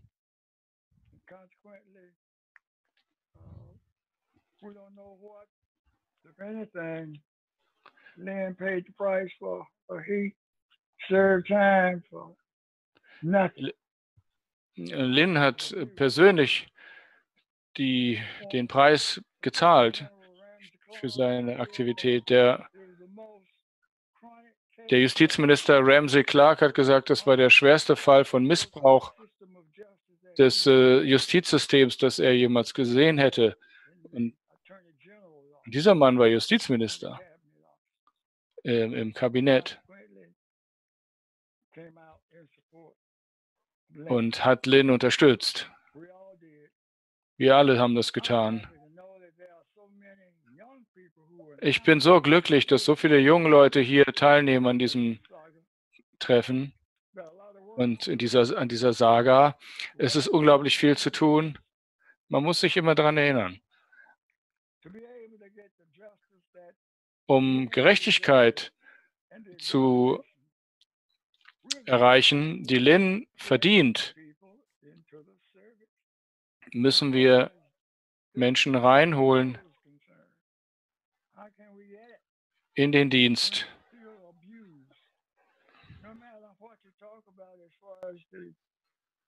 Four conferences are concerned, the four power conferences are concerned. They're not going to spend one nickel on time on Lyndon LaRouche, especially this administration. Selbst wenn wir die vier Mächte zusammenziehen, werden sie nicht eine Sekunde verschwenden, dabei dafür äh, Lynns Namen wiederherzustellen. Und wir müssen ständig dauerhaft daran arbeiten.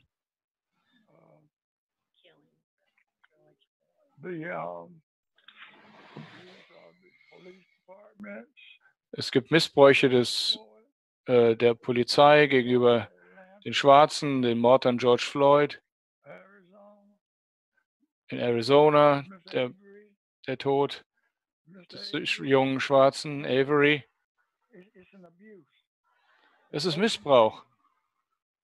Es ist Jagdsaison, immer noch, auf den schwarzen Mann. Und als Folge davon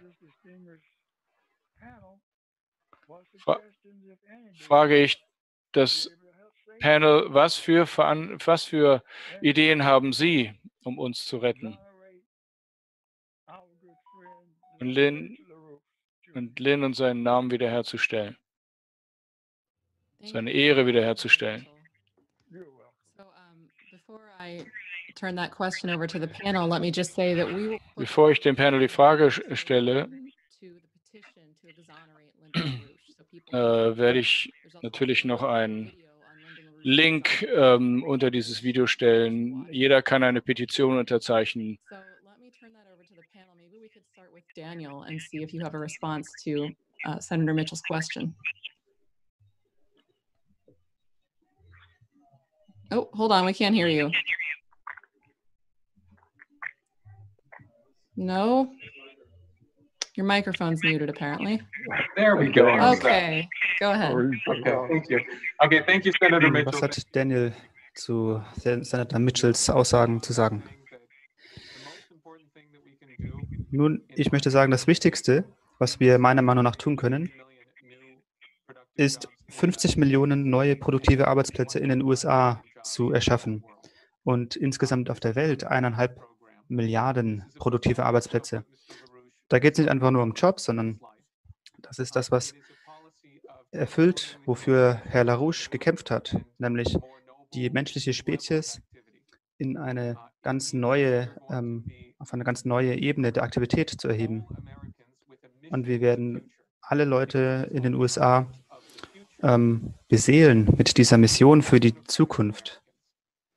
Und wir werden sehen, dass wir die Fähigkeit haben, die Menschen in Amerika und überhaupt Menschen zu vereinen. Und das Werkzeug, was wir dazu haben, ist die Unabhängigkeitserklärung. Denn es ist die Fähigkeit in den Menschen, sich einer solchen Zukunft zu widmen.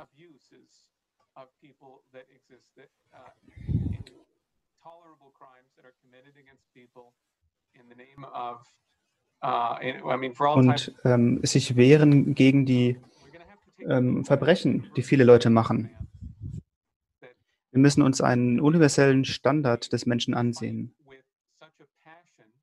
der von uns verlangt, mit solch einer Leidenschaft zu kämpfen, dass wir die Brutalität des Systems überkommen können, in allen ihren Facetten, indem wir einen, ähm, einen wissenschaftlichen Optimismus etablieren für die Zukunft. Um das klarzumachen, also ich denke, ich bin optimistischer als ihr seid, dass wir diese Regierung dazu kriegen, ähm, Herrn LaRouche zu rehabilitieren. Und egal welche ähm, Situationen uns im Weg stehen werden, es ist eine Tatsache, dass deren System in einer totalen Zusammenbruchskrise ist. Also die Regeln, die dieses System ähm, aufrechterhalten haben, zerbrechen gerade. Das System zerbricht. Daher bin ich ähm, der Idee ähm, gewidmet, dass es möglich ist, Herrn, die Ideen von Herrn LaRouche und seiner Person in den USA anzuerkennen. Und das Beste, was wir tun können für diese Rehabilitierung, ist, neue Leute zu rekrutieren für diese Idee. Denn man kann ja die ähm, Leute in den nachindustriellen Städten dieser Welt, äh, in den USA nehmen, um ihnen zu zeigen, da können wir hingehen in die Zukunft. So kann man ihnen eine tiefere Identität geben und einen Ausweg aus Nihilismus und Verzweiflung, äh, was, was in der, in, im Land sehr weit verbreitet ist. Möchte noch jemand etwas sagen in Antwort auf Herrn Mitchell äh, zum Thema Gerechtigkeit? Ja, José.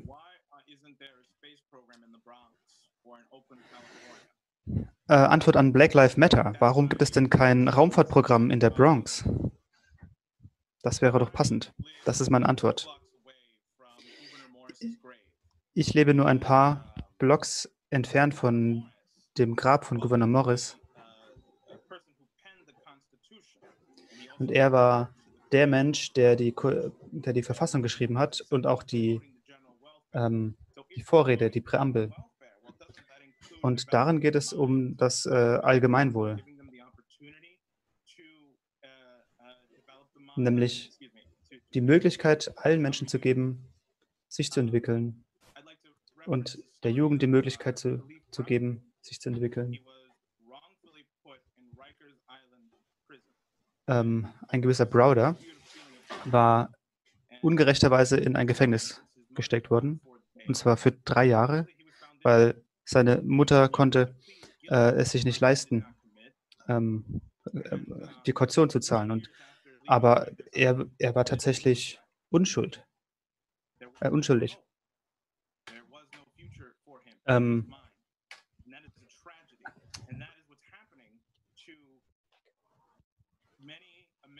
today many young Americans today who have no who feel as if there is no future and that there is no hope. Denn viele junge Amerikaner haben das Gefühl, dass es keine Zukunft gibt. Ich möchte auch ähm, mich beziehen auf den Dialog von Platon, nämlich den Menon-Dialog. Da ging es um die Diskussion, woher kommt die Tugend? Und Sokrates sagte, ich möchte einen, einen deiner Sklaven sehen, und dann fragt, fragt ihn Sokrates, ob er hier geboren war und die Sprache kennt. Und dann kam es, ja, und, und äh, dann, dann war es klar, dass dieser Sklave ähm, aus, einem, aus einem anderen Land kommt und auch nicht gebildet war. Aber er konnte trotzdem, ähm, Sokrates versucht trotzdem mit ihm das Quadrat zu verdoppeln. Und der Sklavenjunge schafft das auf, auf seine eigene Weise, ob, obwohl er ungebildet ist. Und der, der Punkt, den ich meine, ist, äh, es könnte auch andersrum sein, dass, dass der Sklavenjunge eigentlich der Herr ist und Menon der Sklave. Und wenn man sich jetzt überlegt, in 50 Millionen Jahren, wenn jeder seine eigene Galaxie besitzt, was werden dann die Fragen? Werden dann die Fragen wie Black Lives Matter ähm, wichtig oder andere Fragen? Ja, Franklin, was hast du zu sagen?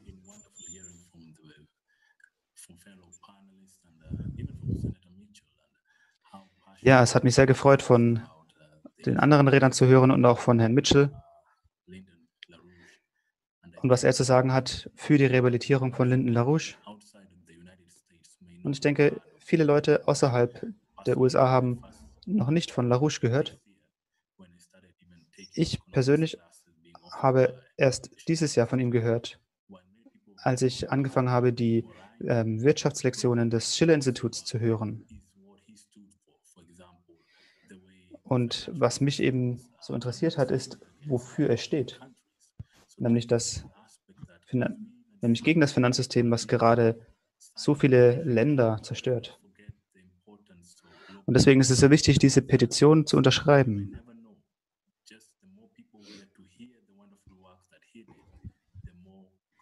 Und ich bin sicher, je mehr Leute hören ähm, von seinen wunderbaren Worten,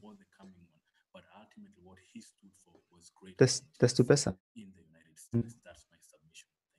Denn äh, für was er stand, ist viel größer als nur, was die USA betrifft. Das wollte ich sagen.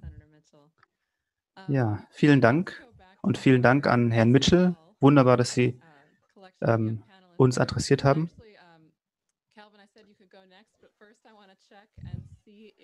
Nun, Calvin, ich hatte ja gesagt, du kannst als nächster äh, was sagen, aber, aber jetzt möchte ich doch erst äh, von Vicente hören. Ich wollte eigentlich Helga fragen, aber ich kann gerade sehen, dass sie nicht mehr da ist. Nun, dann möchte ich also die Redner fragen.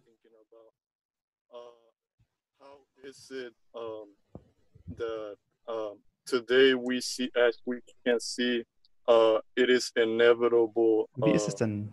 Heute ist es doch so, man kann doch sehen, es ist unvermeidlich und unmöglich, könnte man denken, dass es unmöglich ist, diese Projekte des Schill-Instituts und der LaRouche-Bewegung zu realisieren ohne die Globalisierung. Und ich möchte über die Konzepte nachdenken, die zur Globalisierung führen.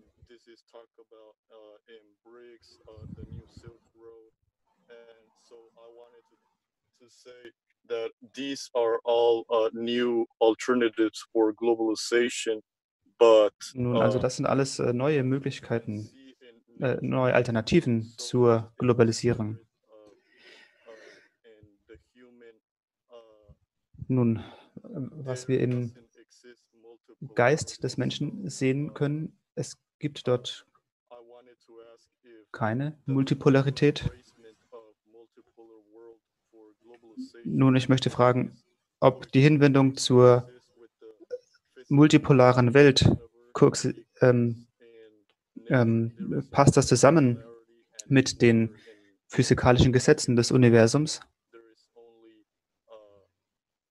Passt das zusammen mit dem menschlichen Geist?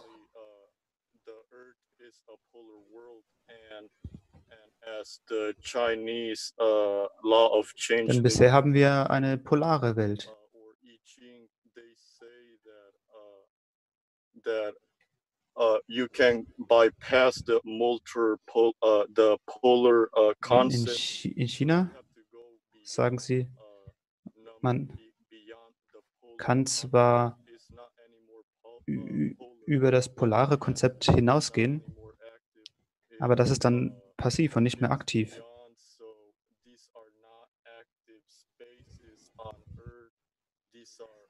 Nun, das sind dann Genau, das wird dann eben passiv werden. Nun, daher wollte ich fragen, ob die multipolare Welt, also die Alternative zur Globalisierung, ob das kohärent mit den physikalischen Gesetzen des Universums ist und des Menschen.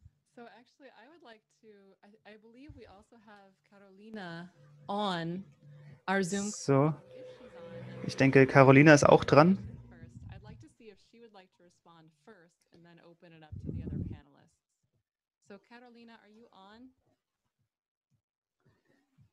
Also erst möchte ich von Carolina hören und dann können die anderen was sagen. Okay. It doesn't sound like it. Well, then what I'll do is I'm going to open up Vicente's question, which is really wonderful, to the other panelists. And then if Carolina is on and we can get the translation going. Uh, anscheinend ist sie gerade nicht dran. Also hören wir von den anderen zuerst.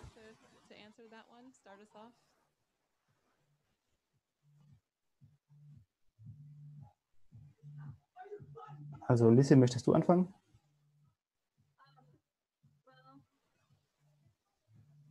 I think we have to start from the standpoint of trying to understand. Uh, ich denke, wir müssen beginnen von ähm, der Frage, was ist das Universum?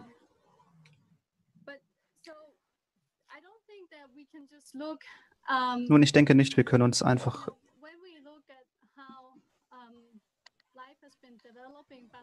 wie äh, Leben eben biologisch äh, sich entwickelt hat.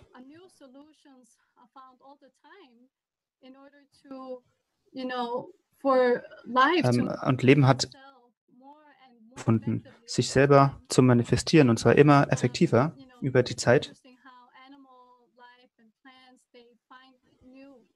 Uh, Nämlich Pflanzen und Tiere haben immer neue biologische Technologien erfunden, um äh, biologische Technologien erfunden, um das zu realisieren.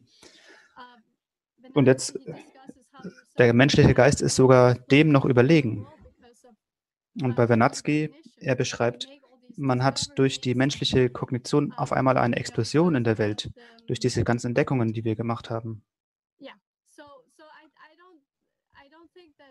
You know, we can just confine the nature of a universe into a question of um, multi. Nun, ich denke, man kann das Universum nicht auf diese Frage reduzieren, multipolar oder anders, sondern das Interessante ist unsere kreative Fähigkeit, Lösungen zu finden, uns in uns selber zu manifestieren und durch unsere Gedanken. Und zwar immer effektiver in diesem Universum. Was denkst du dazu? Was it Vincenta? Uh, yes. Uh, well, um, I um, I think that the universe uh, um, is, as Lyndon LaRouche said, is negentropic and. Und ich denke, das Universum ist, wie Lyndon LaRouche sagte, negentropisch.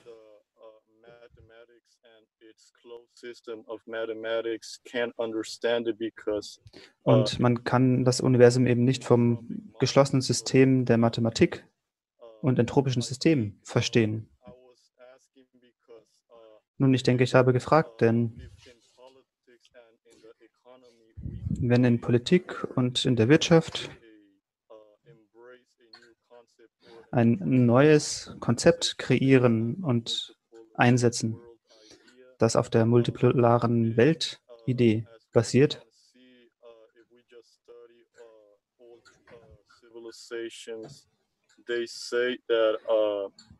ob das funktioniert. Denn wenn man sich ähm, die verschiedenen Zivilisationen ansieht,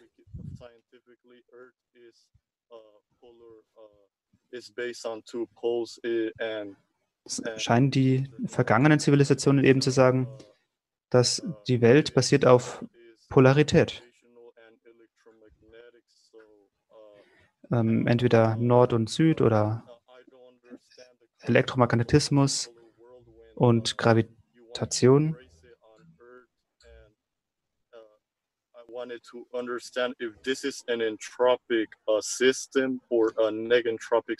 Nun, deswegen wollte ich jetzt verstehen, ob dieses multipolare System ein negentropisches oder ein entropisches System ist.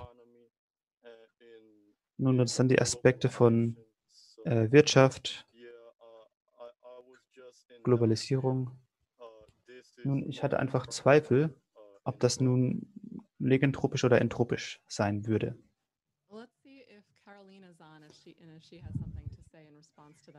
Nun, was hat Carolina denn zu dieser Frage zu sagen?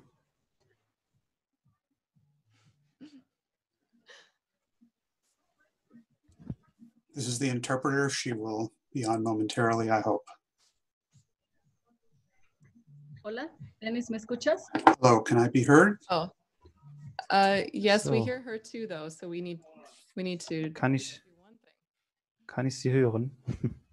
kann, kann sie gehört werden? Ja, vielen Dank. Und was ich euch sagen kann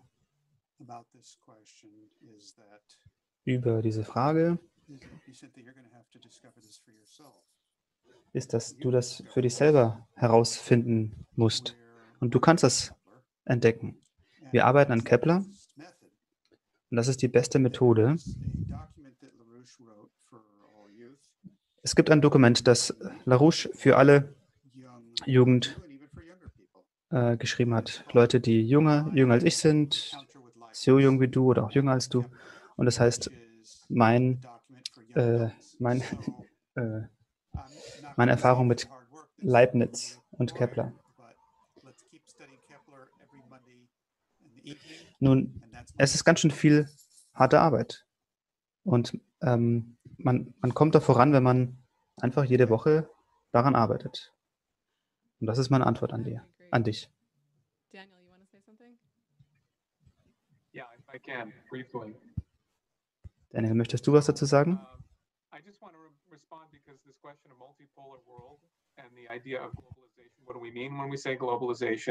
Is Nun, was meinen wir denn eigentlich, wenn wir Globalisierung sagen?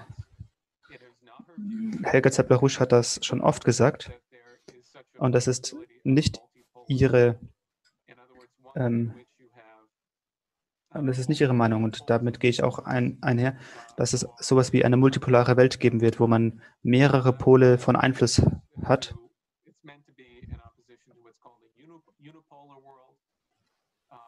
which is where you have, you know, a, a collection of power in a in one center. Uh, was, was, gegen die unipolare ähm, Welt stehen sollte, das ist die Absicht, wo es nur ein Zentrum gibt. Aber beide Möglichkeiten ähm, funktionieren nicht, weil, weil in, in beiden Fällen würde die Oligarchie herrschen. Und zwar in der heutigen Form ähm, des Zentrums von in London mit der City von London.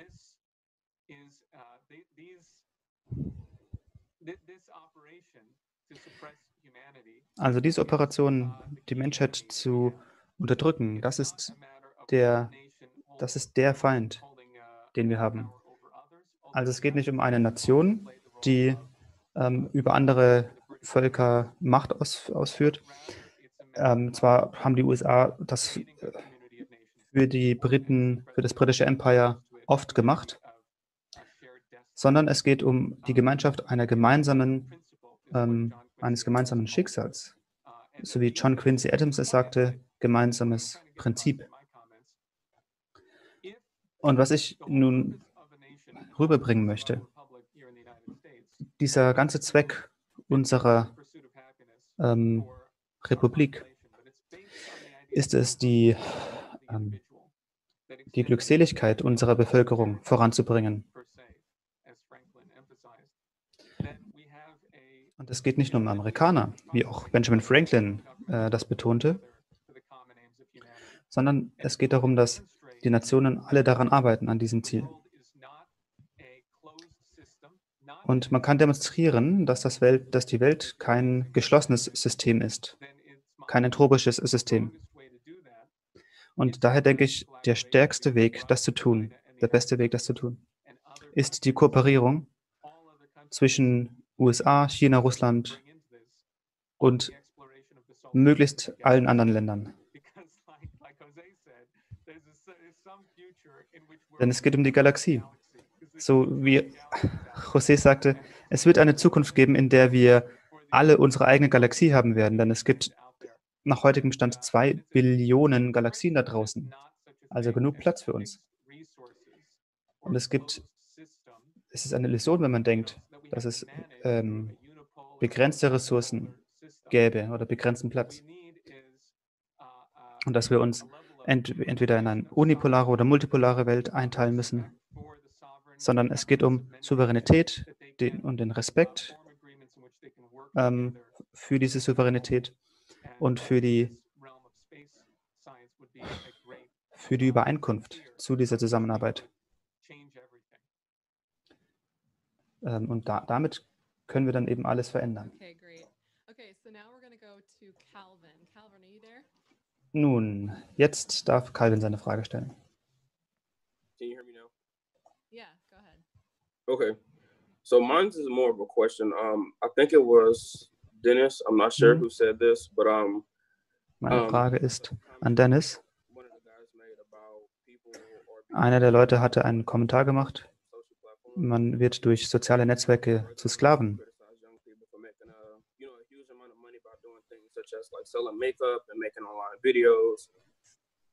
Und ähm, jemand hat auch kritisiert ähm, die Influencer ähm, wie, wie Leute äh, durch ähm, Make-up-Verkauf Geld machen und so weiter.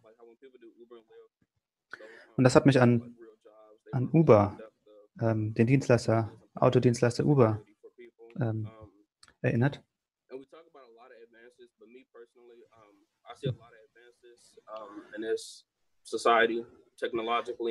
Nun, es gibt ähm, einige Fortschritte in der, in der Gesellschaft, technologische und nicht technologische. Und manche Leute haben halt gewisse Ideen, wie sie Geld machen. Nun, und meine Frage ist, ähm, wenn man Geld macht mit Videos oder mit ähm, als Uber-Fahrer, Was ist der Unterschied zu den industriellen, industrialisierten ähm, Arbeitsplätzen? Das, das möchte doch nicht jeder machen. Manche Leute sind doch äh, damit zufrieden, wie sie jetzt gerade Geld machen, zum Beispiel durch Videos. I know it was all over the place. I hope that makes Made sense. sense to me. Okay. Ich hoffe, das war klar, was ich fragen wollte. Maybe we start with you. That's your your territory there. So, Shirin, was hast du dazu zu sagen? Das ist ja dein Bereich. Um, I think that uh, there is um, a common point between this and uh, Nun, ich denke, da gibt es ähm, Gemeinsamkeit zwischen dem und ähm, wenn man mal mit der Vergangenheit vergleicht, als Leute noch produktive Arbeit hatten, als die weniger gebildeten Arbeiter waren und die gebildeteren, die ähm, Chefs waren, um das zu vereinfachen. Und das war die Frage, weil du hast dich ja selber gefragt, muss ich denn ähm, solch eine Arbeit finden?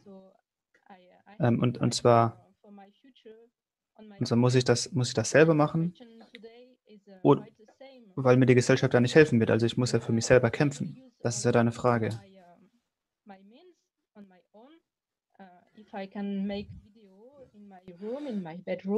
Und dann werde ich einfach das benutzen, was mir äh, zur Verfügung steht.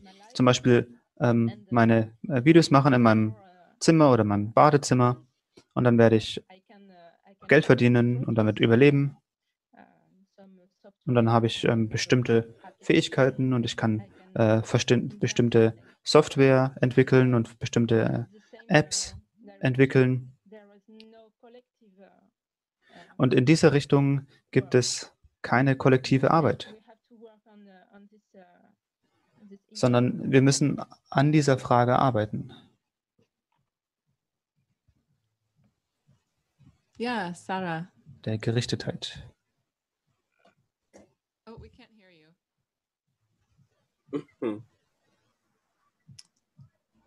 Try unmuting.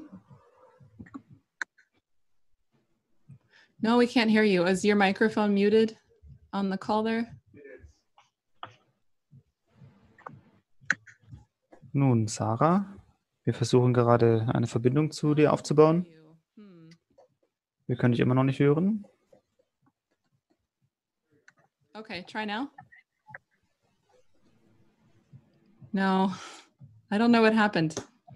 Nun und jetzt? Nein, leider nicht. Ich weiß nicht, was passiert ist.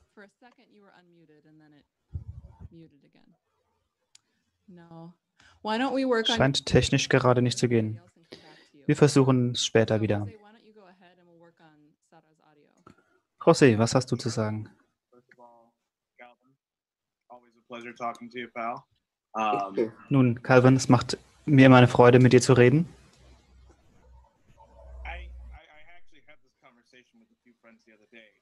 Nun, tatsächlich hatte ich diese Frage mit ein paar Freunden vor ein paar Tagen. Geht es denn ähm, zu arbeiten ähm, nur für dich, um für dich selber die besten Bedingungen zu haben? Und das ist dann egal, was du machst. Also dumme Videos oder schmutzige Videos und Bilder. Mein Punkt ist ganz einfach, du bist mehr wert als das. Du bist mehr wert, egal wie viel Gehalt, wie viel Geld auch immer. Wie viel Menge auch immer. Also, wo ist denn dann diese, äh, dieser Wert? Nämlich in der Seele und in deinem Geist.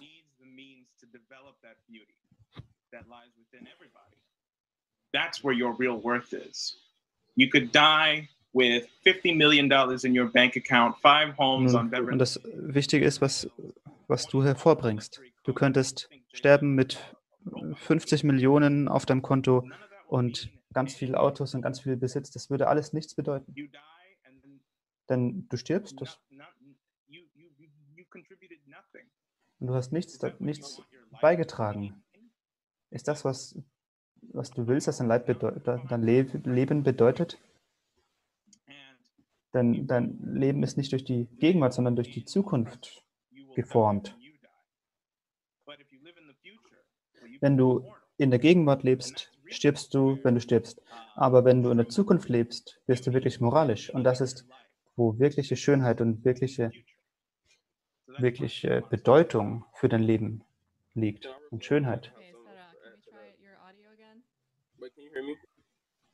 Oh, hold on just a second, Calvin. Let's see if Sarah's okay. audio is working. Go ahead, Sarah. No, it's not working again. So, Sarahs Audio funktioniert immer noch nicht. Okay, yeah.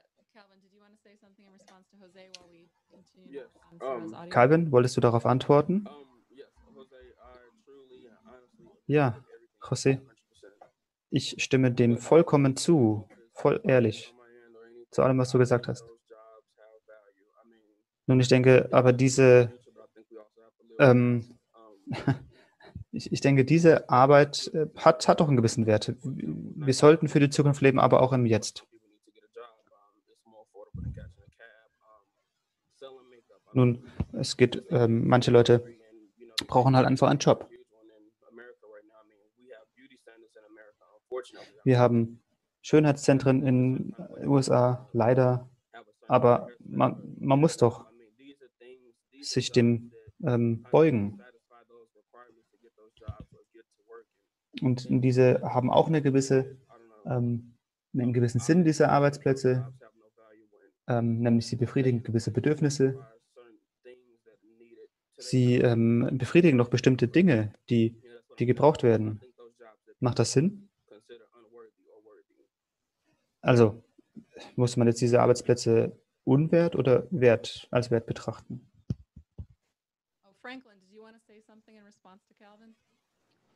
Franklin, wolltest du auf Calvin antworten?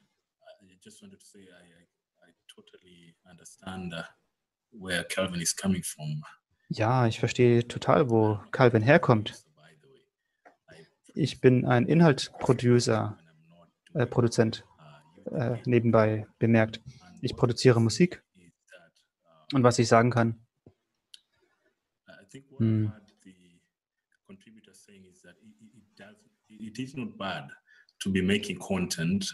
nun, es ist nicht falsch, solche Dinge zu produzieren und dein Talent zu entwickeln, was auch immer es ist. So wie José sagte, deine ähm, kreativen Aspekte ähm, entdecken. Aber viele Leute sehen das eben ähm, nur als, als ein Mittel zu ihrem Zweck. Es, es stoppt dann, es hört dann da auf. Was man eigentlich machen muss, ist sein, seinen Geist entwickeln.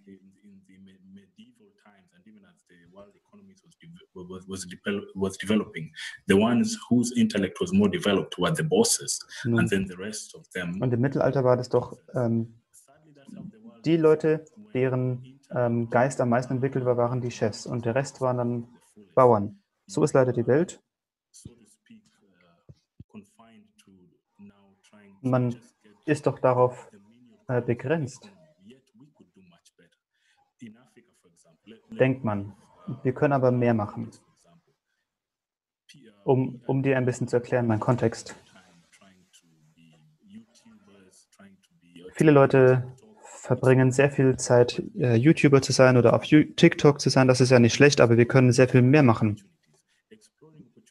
Nämlich ähm, landwirtschaftliche Möglichkeiten entwickeln ähm, Computerwissenschaften entwickeln. Ja, also wenn man Content, also Musik und so weiter, Videos produziert, das ist ja nicht schlecht, aber wir können sehr viel mehr machen. Und das ist dann auch besser für die Wirtschaft. Das wollte ich sagen. Oh, ja, Lissy?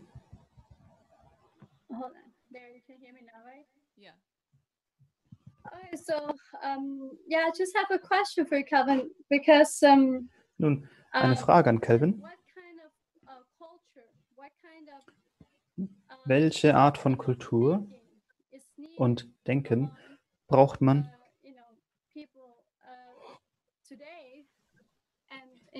oder brauchen die Leute heute und in der Zukunft, damit wir uns der Situation stellen können, wenn in zwei Milliarden Jahre die Sonne aufhört zu brennen. Ja, wir haben kreative Fähigkeiten, nämlich Probleme zu lösen. Aber welche, welche Kultur brauchen wir, um das zu erreichen? Nun, viele Tierspezies sind ausgestorben. Und wenn, wenn wir nicht auf der höheren Ebene ähm, handeln,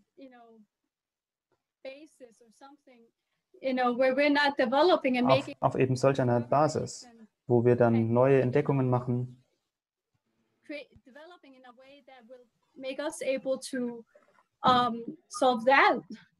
und uns entwickeln, um diese Krise dann in zwei Milliarden Jahren zu lösen, dann können wir auch aussterben. Nun, also was, was so äh, speziell ist an, an Menschen, das ist unser Geist. Das ist das Beste, was wir haben. Nun, und zur Notwendigkeit, ähm, die ändert sich ja auch. Denn jemand macht, macht eine Entdeckung äh, in Richtung, was man pra pragmatische Jobs äh, nennen könnte. Denn also, also was denkst du? Welche Denkweise brauchen wir, um diese, diese Probleme, die in zwei Milliarden Jahren aufkommen, zu lösen? Nun, kritisches Denken, intellektuelles Denken brauchen wir, um zumindest diese Zukunft zu sehen und dazu beitragen. Nun, wir brauchen eine Kultur kritischen Denkens. So würde ich nun, wir müssen uns das anschauen. Das ist ja keine einfache Frage. Wie beantworten wir diese Frage? Nun, Lynn hatte eine große, äh, hat, hat immer das sehr angegriffen, wo man nur in einer Box äh, denkt. Und man, man wird quasi dazu dressiert, Tricks zu lernen. Was wir aber machen, wir zeigen jungen Leuten, wie sie selber Entdeckung machen können. Und zwar im ersten Schritt äh, mittels Leute, äh, Leuten, die schon diese, die grundlegende Entdeckungen gemacht haben. Und die dann dadurch ähm, große ge geologische Kraft entfaltet haben für die Menschheit.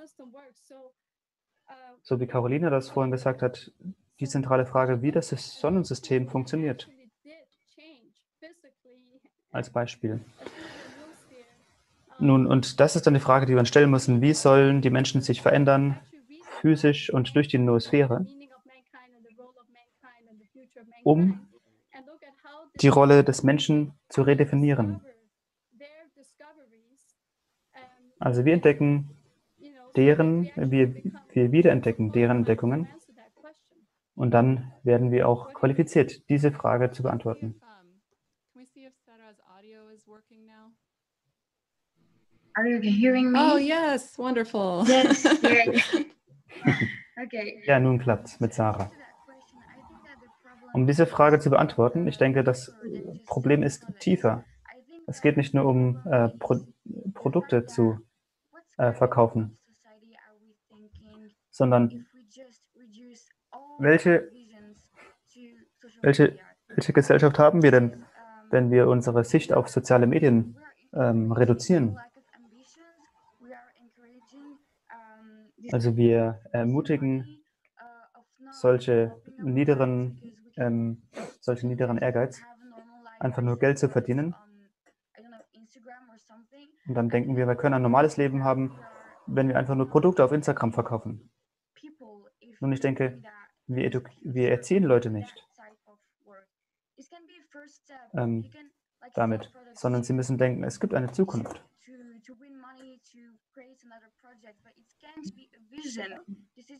Sondern was die Leute brauchen, ist wirklich eine Vision. Das ist nicht, nicht, nicht der Weg, wie wir uns die Gesellschaft vorstellen sollten. Das ist so klein und, und nicht wirklich, überhaupt nicht reich. Social Media, soziale Medien sind nun Teil unseres Lebens und wir müssen lernen, damit umzugehen. Und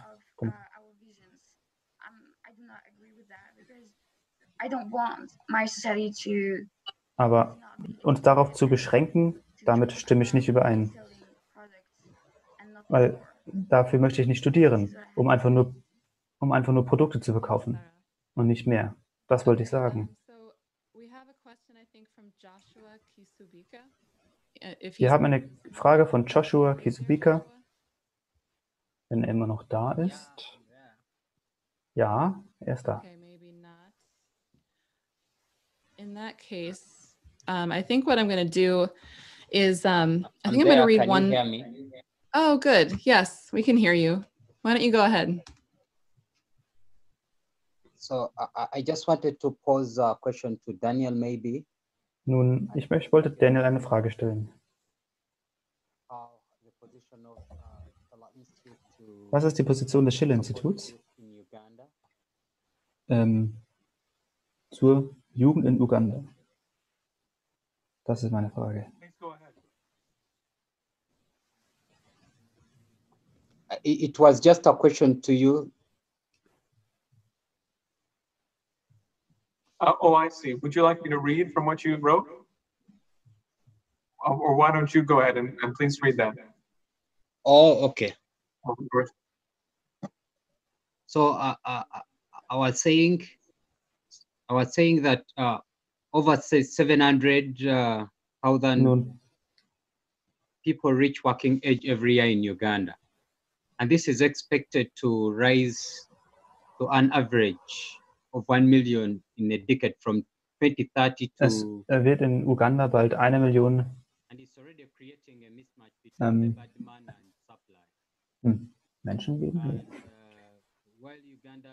Bis, bis zum Jahr 2040 auf jeden Fall ähm, wird es Unterversorgung geben in Uganda. 62 are working for themselves only, and 43% are unpaid family workers. So, and you can hmm. see that even this. Uh, uh, uh, ja, und viele Leute werden keinen guten Arbeitsplatz haben. Nun, also, wir brauchen da Führung. Und welche Strategien brauchen wir dafür? Ähm, können wir mit, mit euch zusammen machen, um der Jugend in Uganda Hoffnung zu geben. Thank you very much, Joshua. Ja, vielen Dank, Joshua. Uh, of dialogue and discussion about most importantly, ich denke, was, was du hier aufbringst, ist ein Dialog.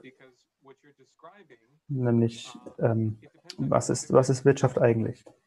Also es kommt auf, deinen, auf deine Sichtweise ein, nämlich die Sichtweise, die durch dieses britische imperiale System ausgedrückt ist, ist, das ist die Sichtweise, wenn man viele, viele äh, Münder stopfen muss.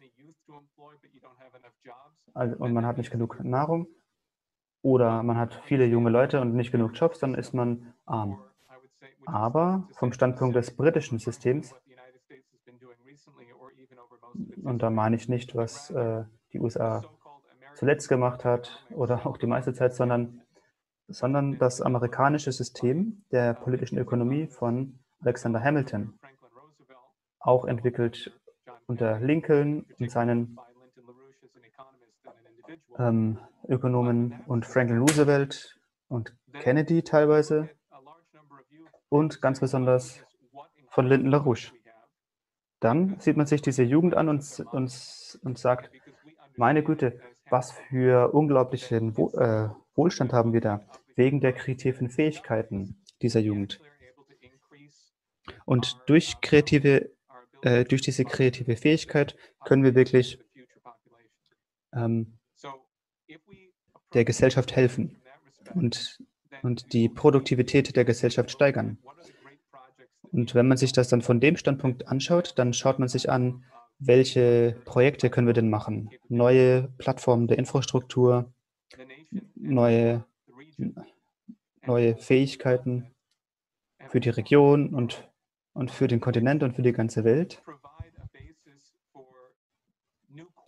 die eine Grundlage für neue Qualität der Wirtschaft ähm, legen. Andernfalls wird es ja nicht möglich sein. Also man erschafft eine Zukunft mit der Zukunft. Also man erschafft eine Art nächsten Schritt für das System. Und da müssen wir Sprünge machen.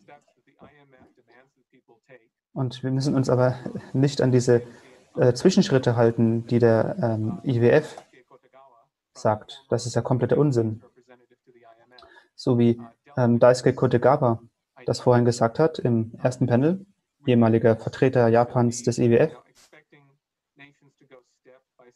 Das ist ja äh, lächerlich, dass wir von Nationen erwarten, dass sie Schritt für Schritt diese ähm, Leiter entlang gehen der Industrialisierung. Das ist ja Quatsch, sondern den Nationen gleich die beste Technologie geben,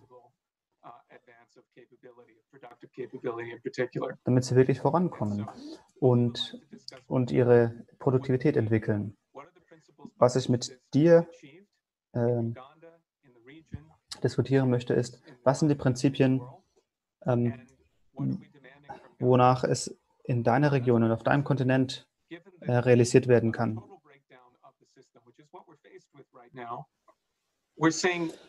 Nun, und wenn wir uns jetzt anschauen, das System kollabiert total.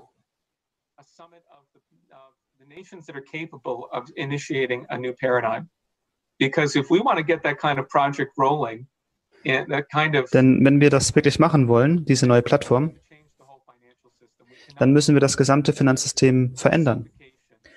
Ähm, wir können äh, diese Erstickung nicht mehr tolerieren, der sogenannten Entwicklungswelt, äh, sondern was das Schiller-Institut vorschlägt, ist eineinhalb Milliarden neue produktive Jobs, Arbeitsplätze. Das wäre dann sagenhafte Summen von Kredit äh, an Nationen. Das, das möchten wir mit dir und mit der Jugend, die du repräsentierst, diskutieren, ähm, um zu verstehen, was ist denn notwendig, um dann eine Grundlage zu haben, ähm, von der aus wir ähm, eben von, von der Regierung. Das, Wir haben leider nicht mehr viel Zeit. Traurigerweise, denn ich weiß, viele Leute haben noch Fragen live und wir kriegen auch sehr viele E-Mails jetzt gerade in die Inbox. Ich möchte alle dazu aufmuntern, ermuntern, die Fragen einzureichen, denn wir werden die Fragen weiterleiten an die Panelisten. Ich frage jeden der Panelisten noch, ob sie ein Schlusswort sprechen möchten. Wir fangen mit Sherin an und was hat sie zu sagen? Uh, ich möchte gerne betonen, wie wichtig die Frage von Führung ist. Man muss sich der Wahrheit verpflichtet fühlen. Man muss eine Richtung äh, erkennen, die Richtung der Gesellschaft.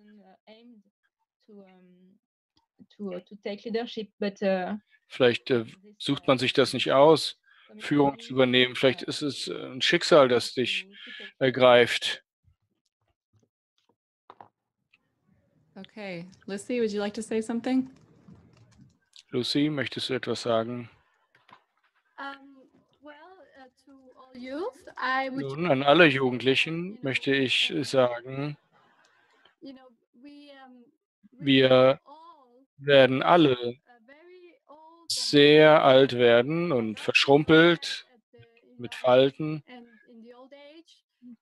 Und äh, die Frage ist deswegen, wenn man da ist, ankommt, kann man dann über das Leben zurück, also nachdenken und sagen, wow, mein Leben war wichtig und ich, ich werde nicht nur Futter für die Käfer und Würmer sein. Carolina als nächste, bitte.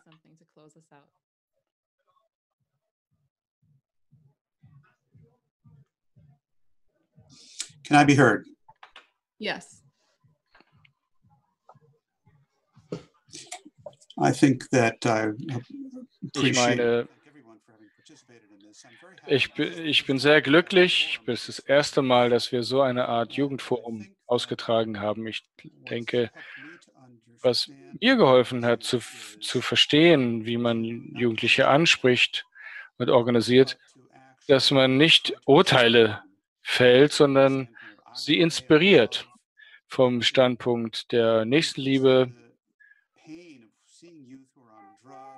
Und wenn man Jugendliche gesehen hat, die Drogen auf Drogen sind, die verrückt äh, herumtanzen auf TikTok und diese Dinge, wenn einem das schmerzt, dann, dann muss man herausfinden, was die bessere Option ist für diese Menschen.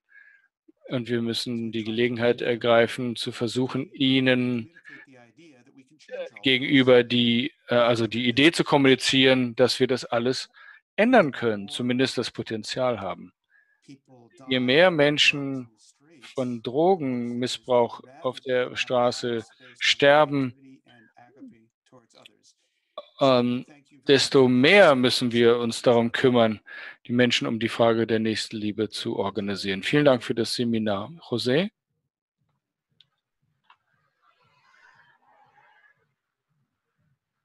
Oh, we can't hear you, Jose. Are you muted? Your microphone is muted, according to the technical genius over here. No? Okay, well, let's work on that. Let's go to Sarah. Would you like to say something to close out? Yeah, I think this is extremely amazing to be all gathered. Es ist unglaublich faszinierend, dass wir alle zusammengekommen sind, um für eine bessere Welt und unsere Ideen zu kämpfen. Es ist so inspirierend und kraftvoll. Ich bin froh, dass wir die Welt langsam ändern. Ich bin glücklich, Teil dieses Wandels zu sein.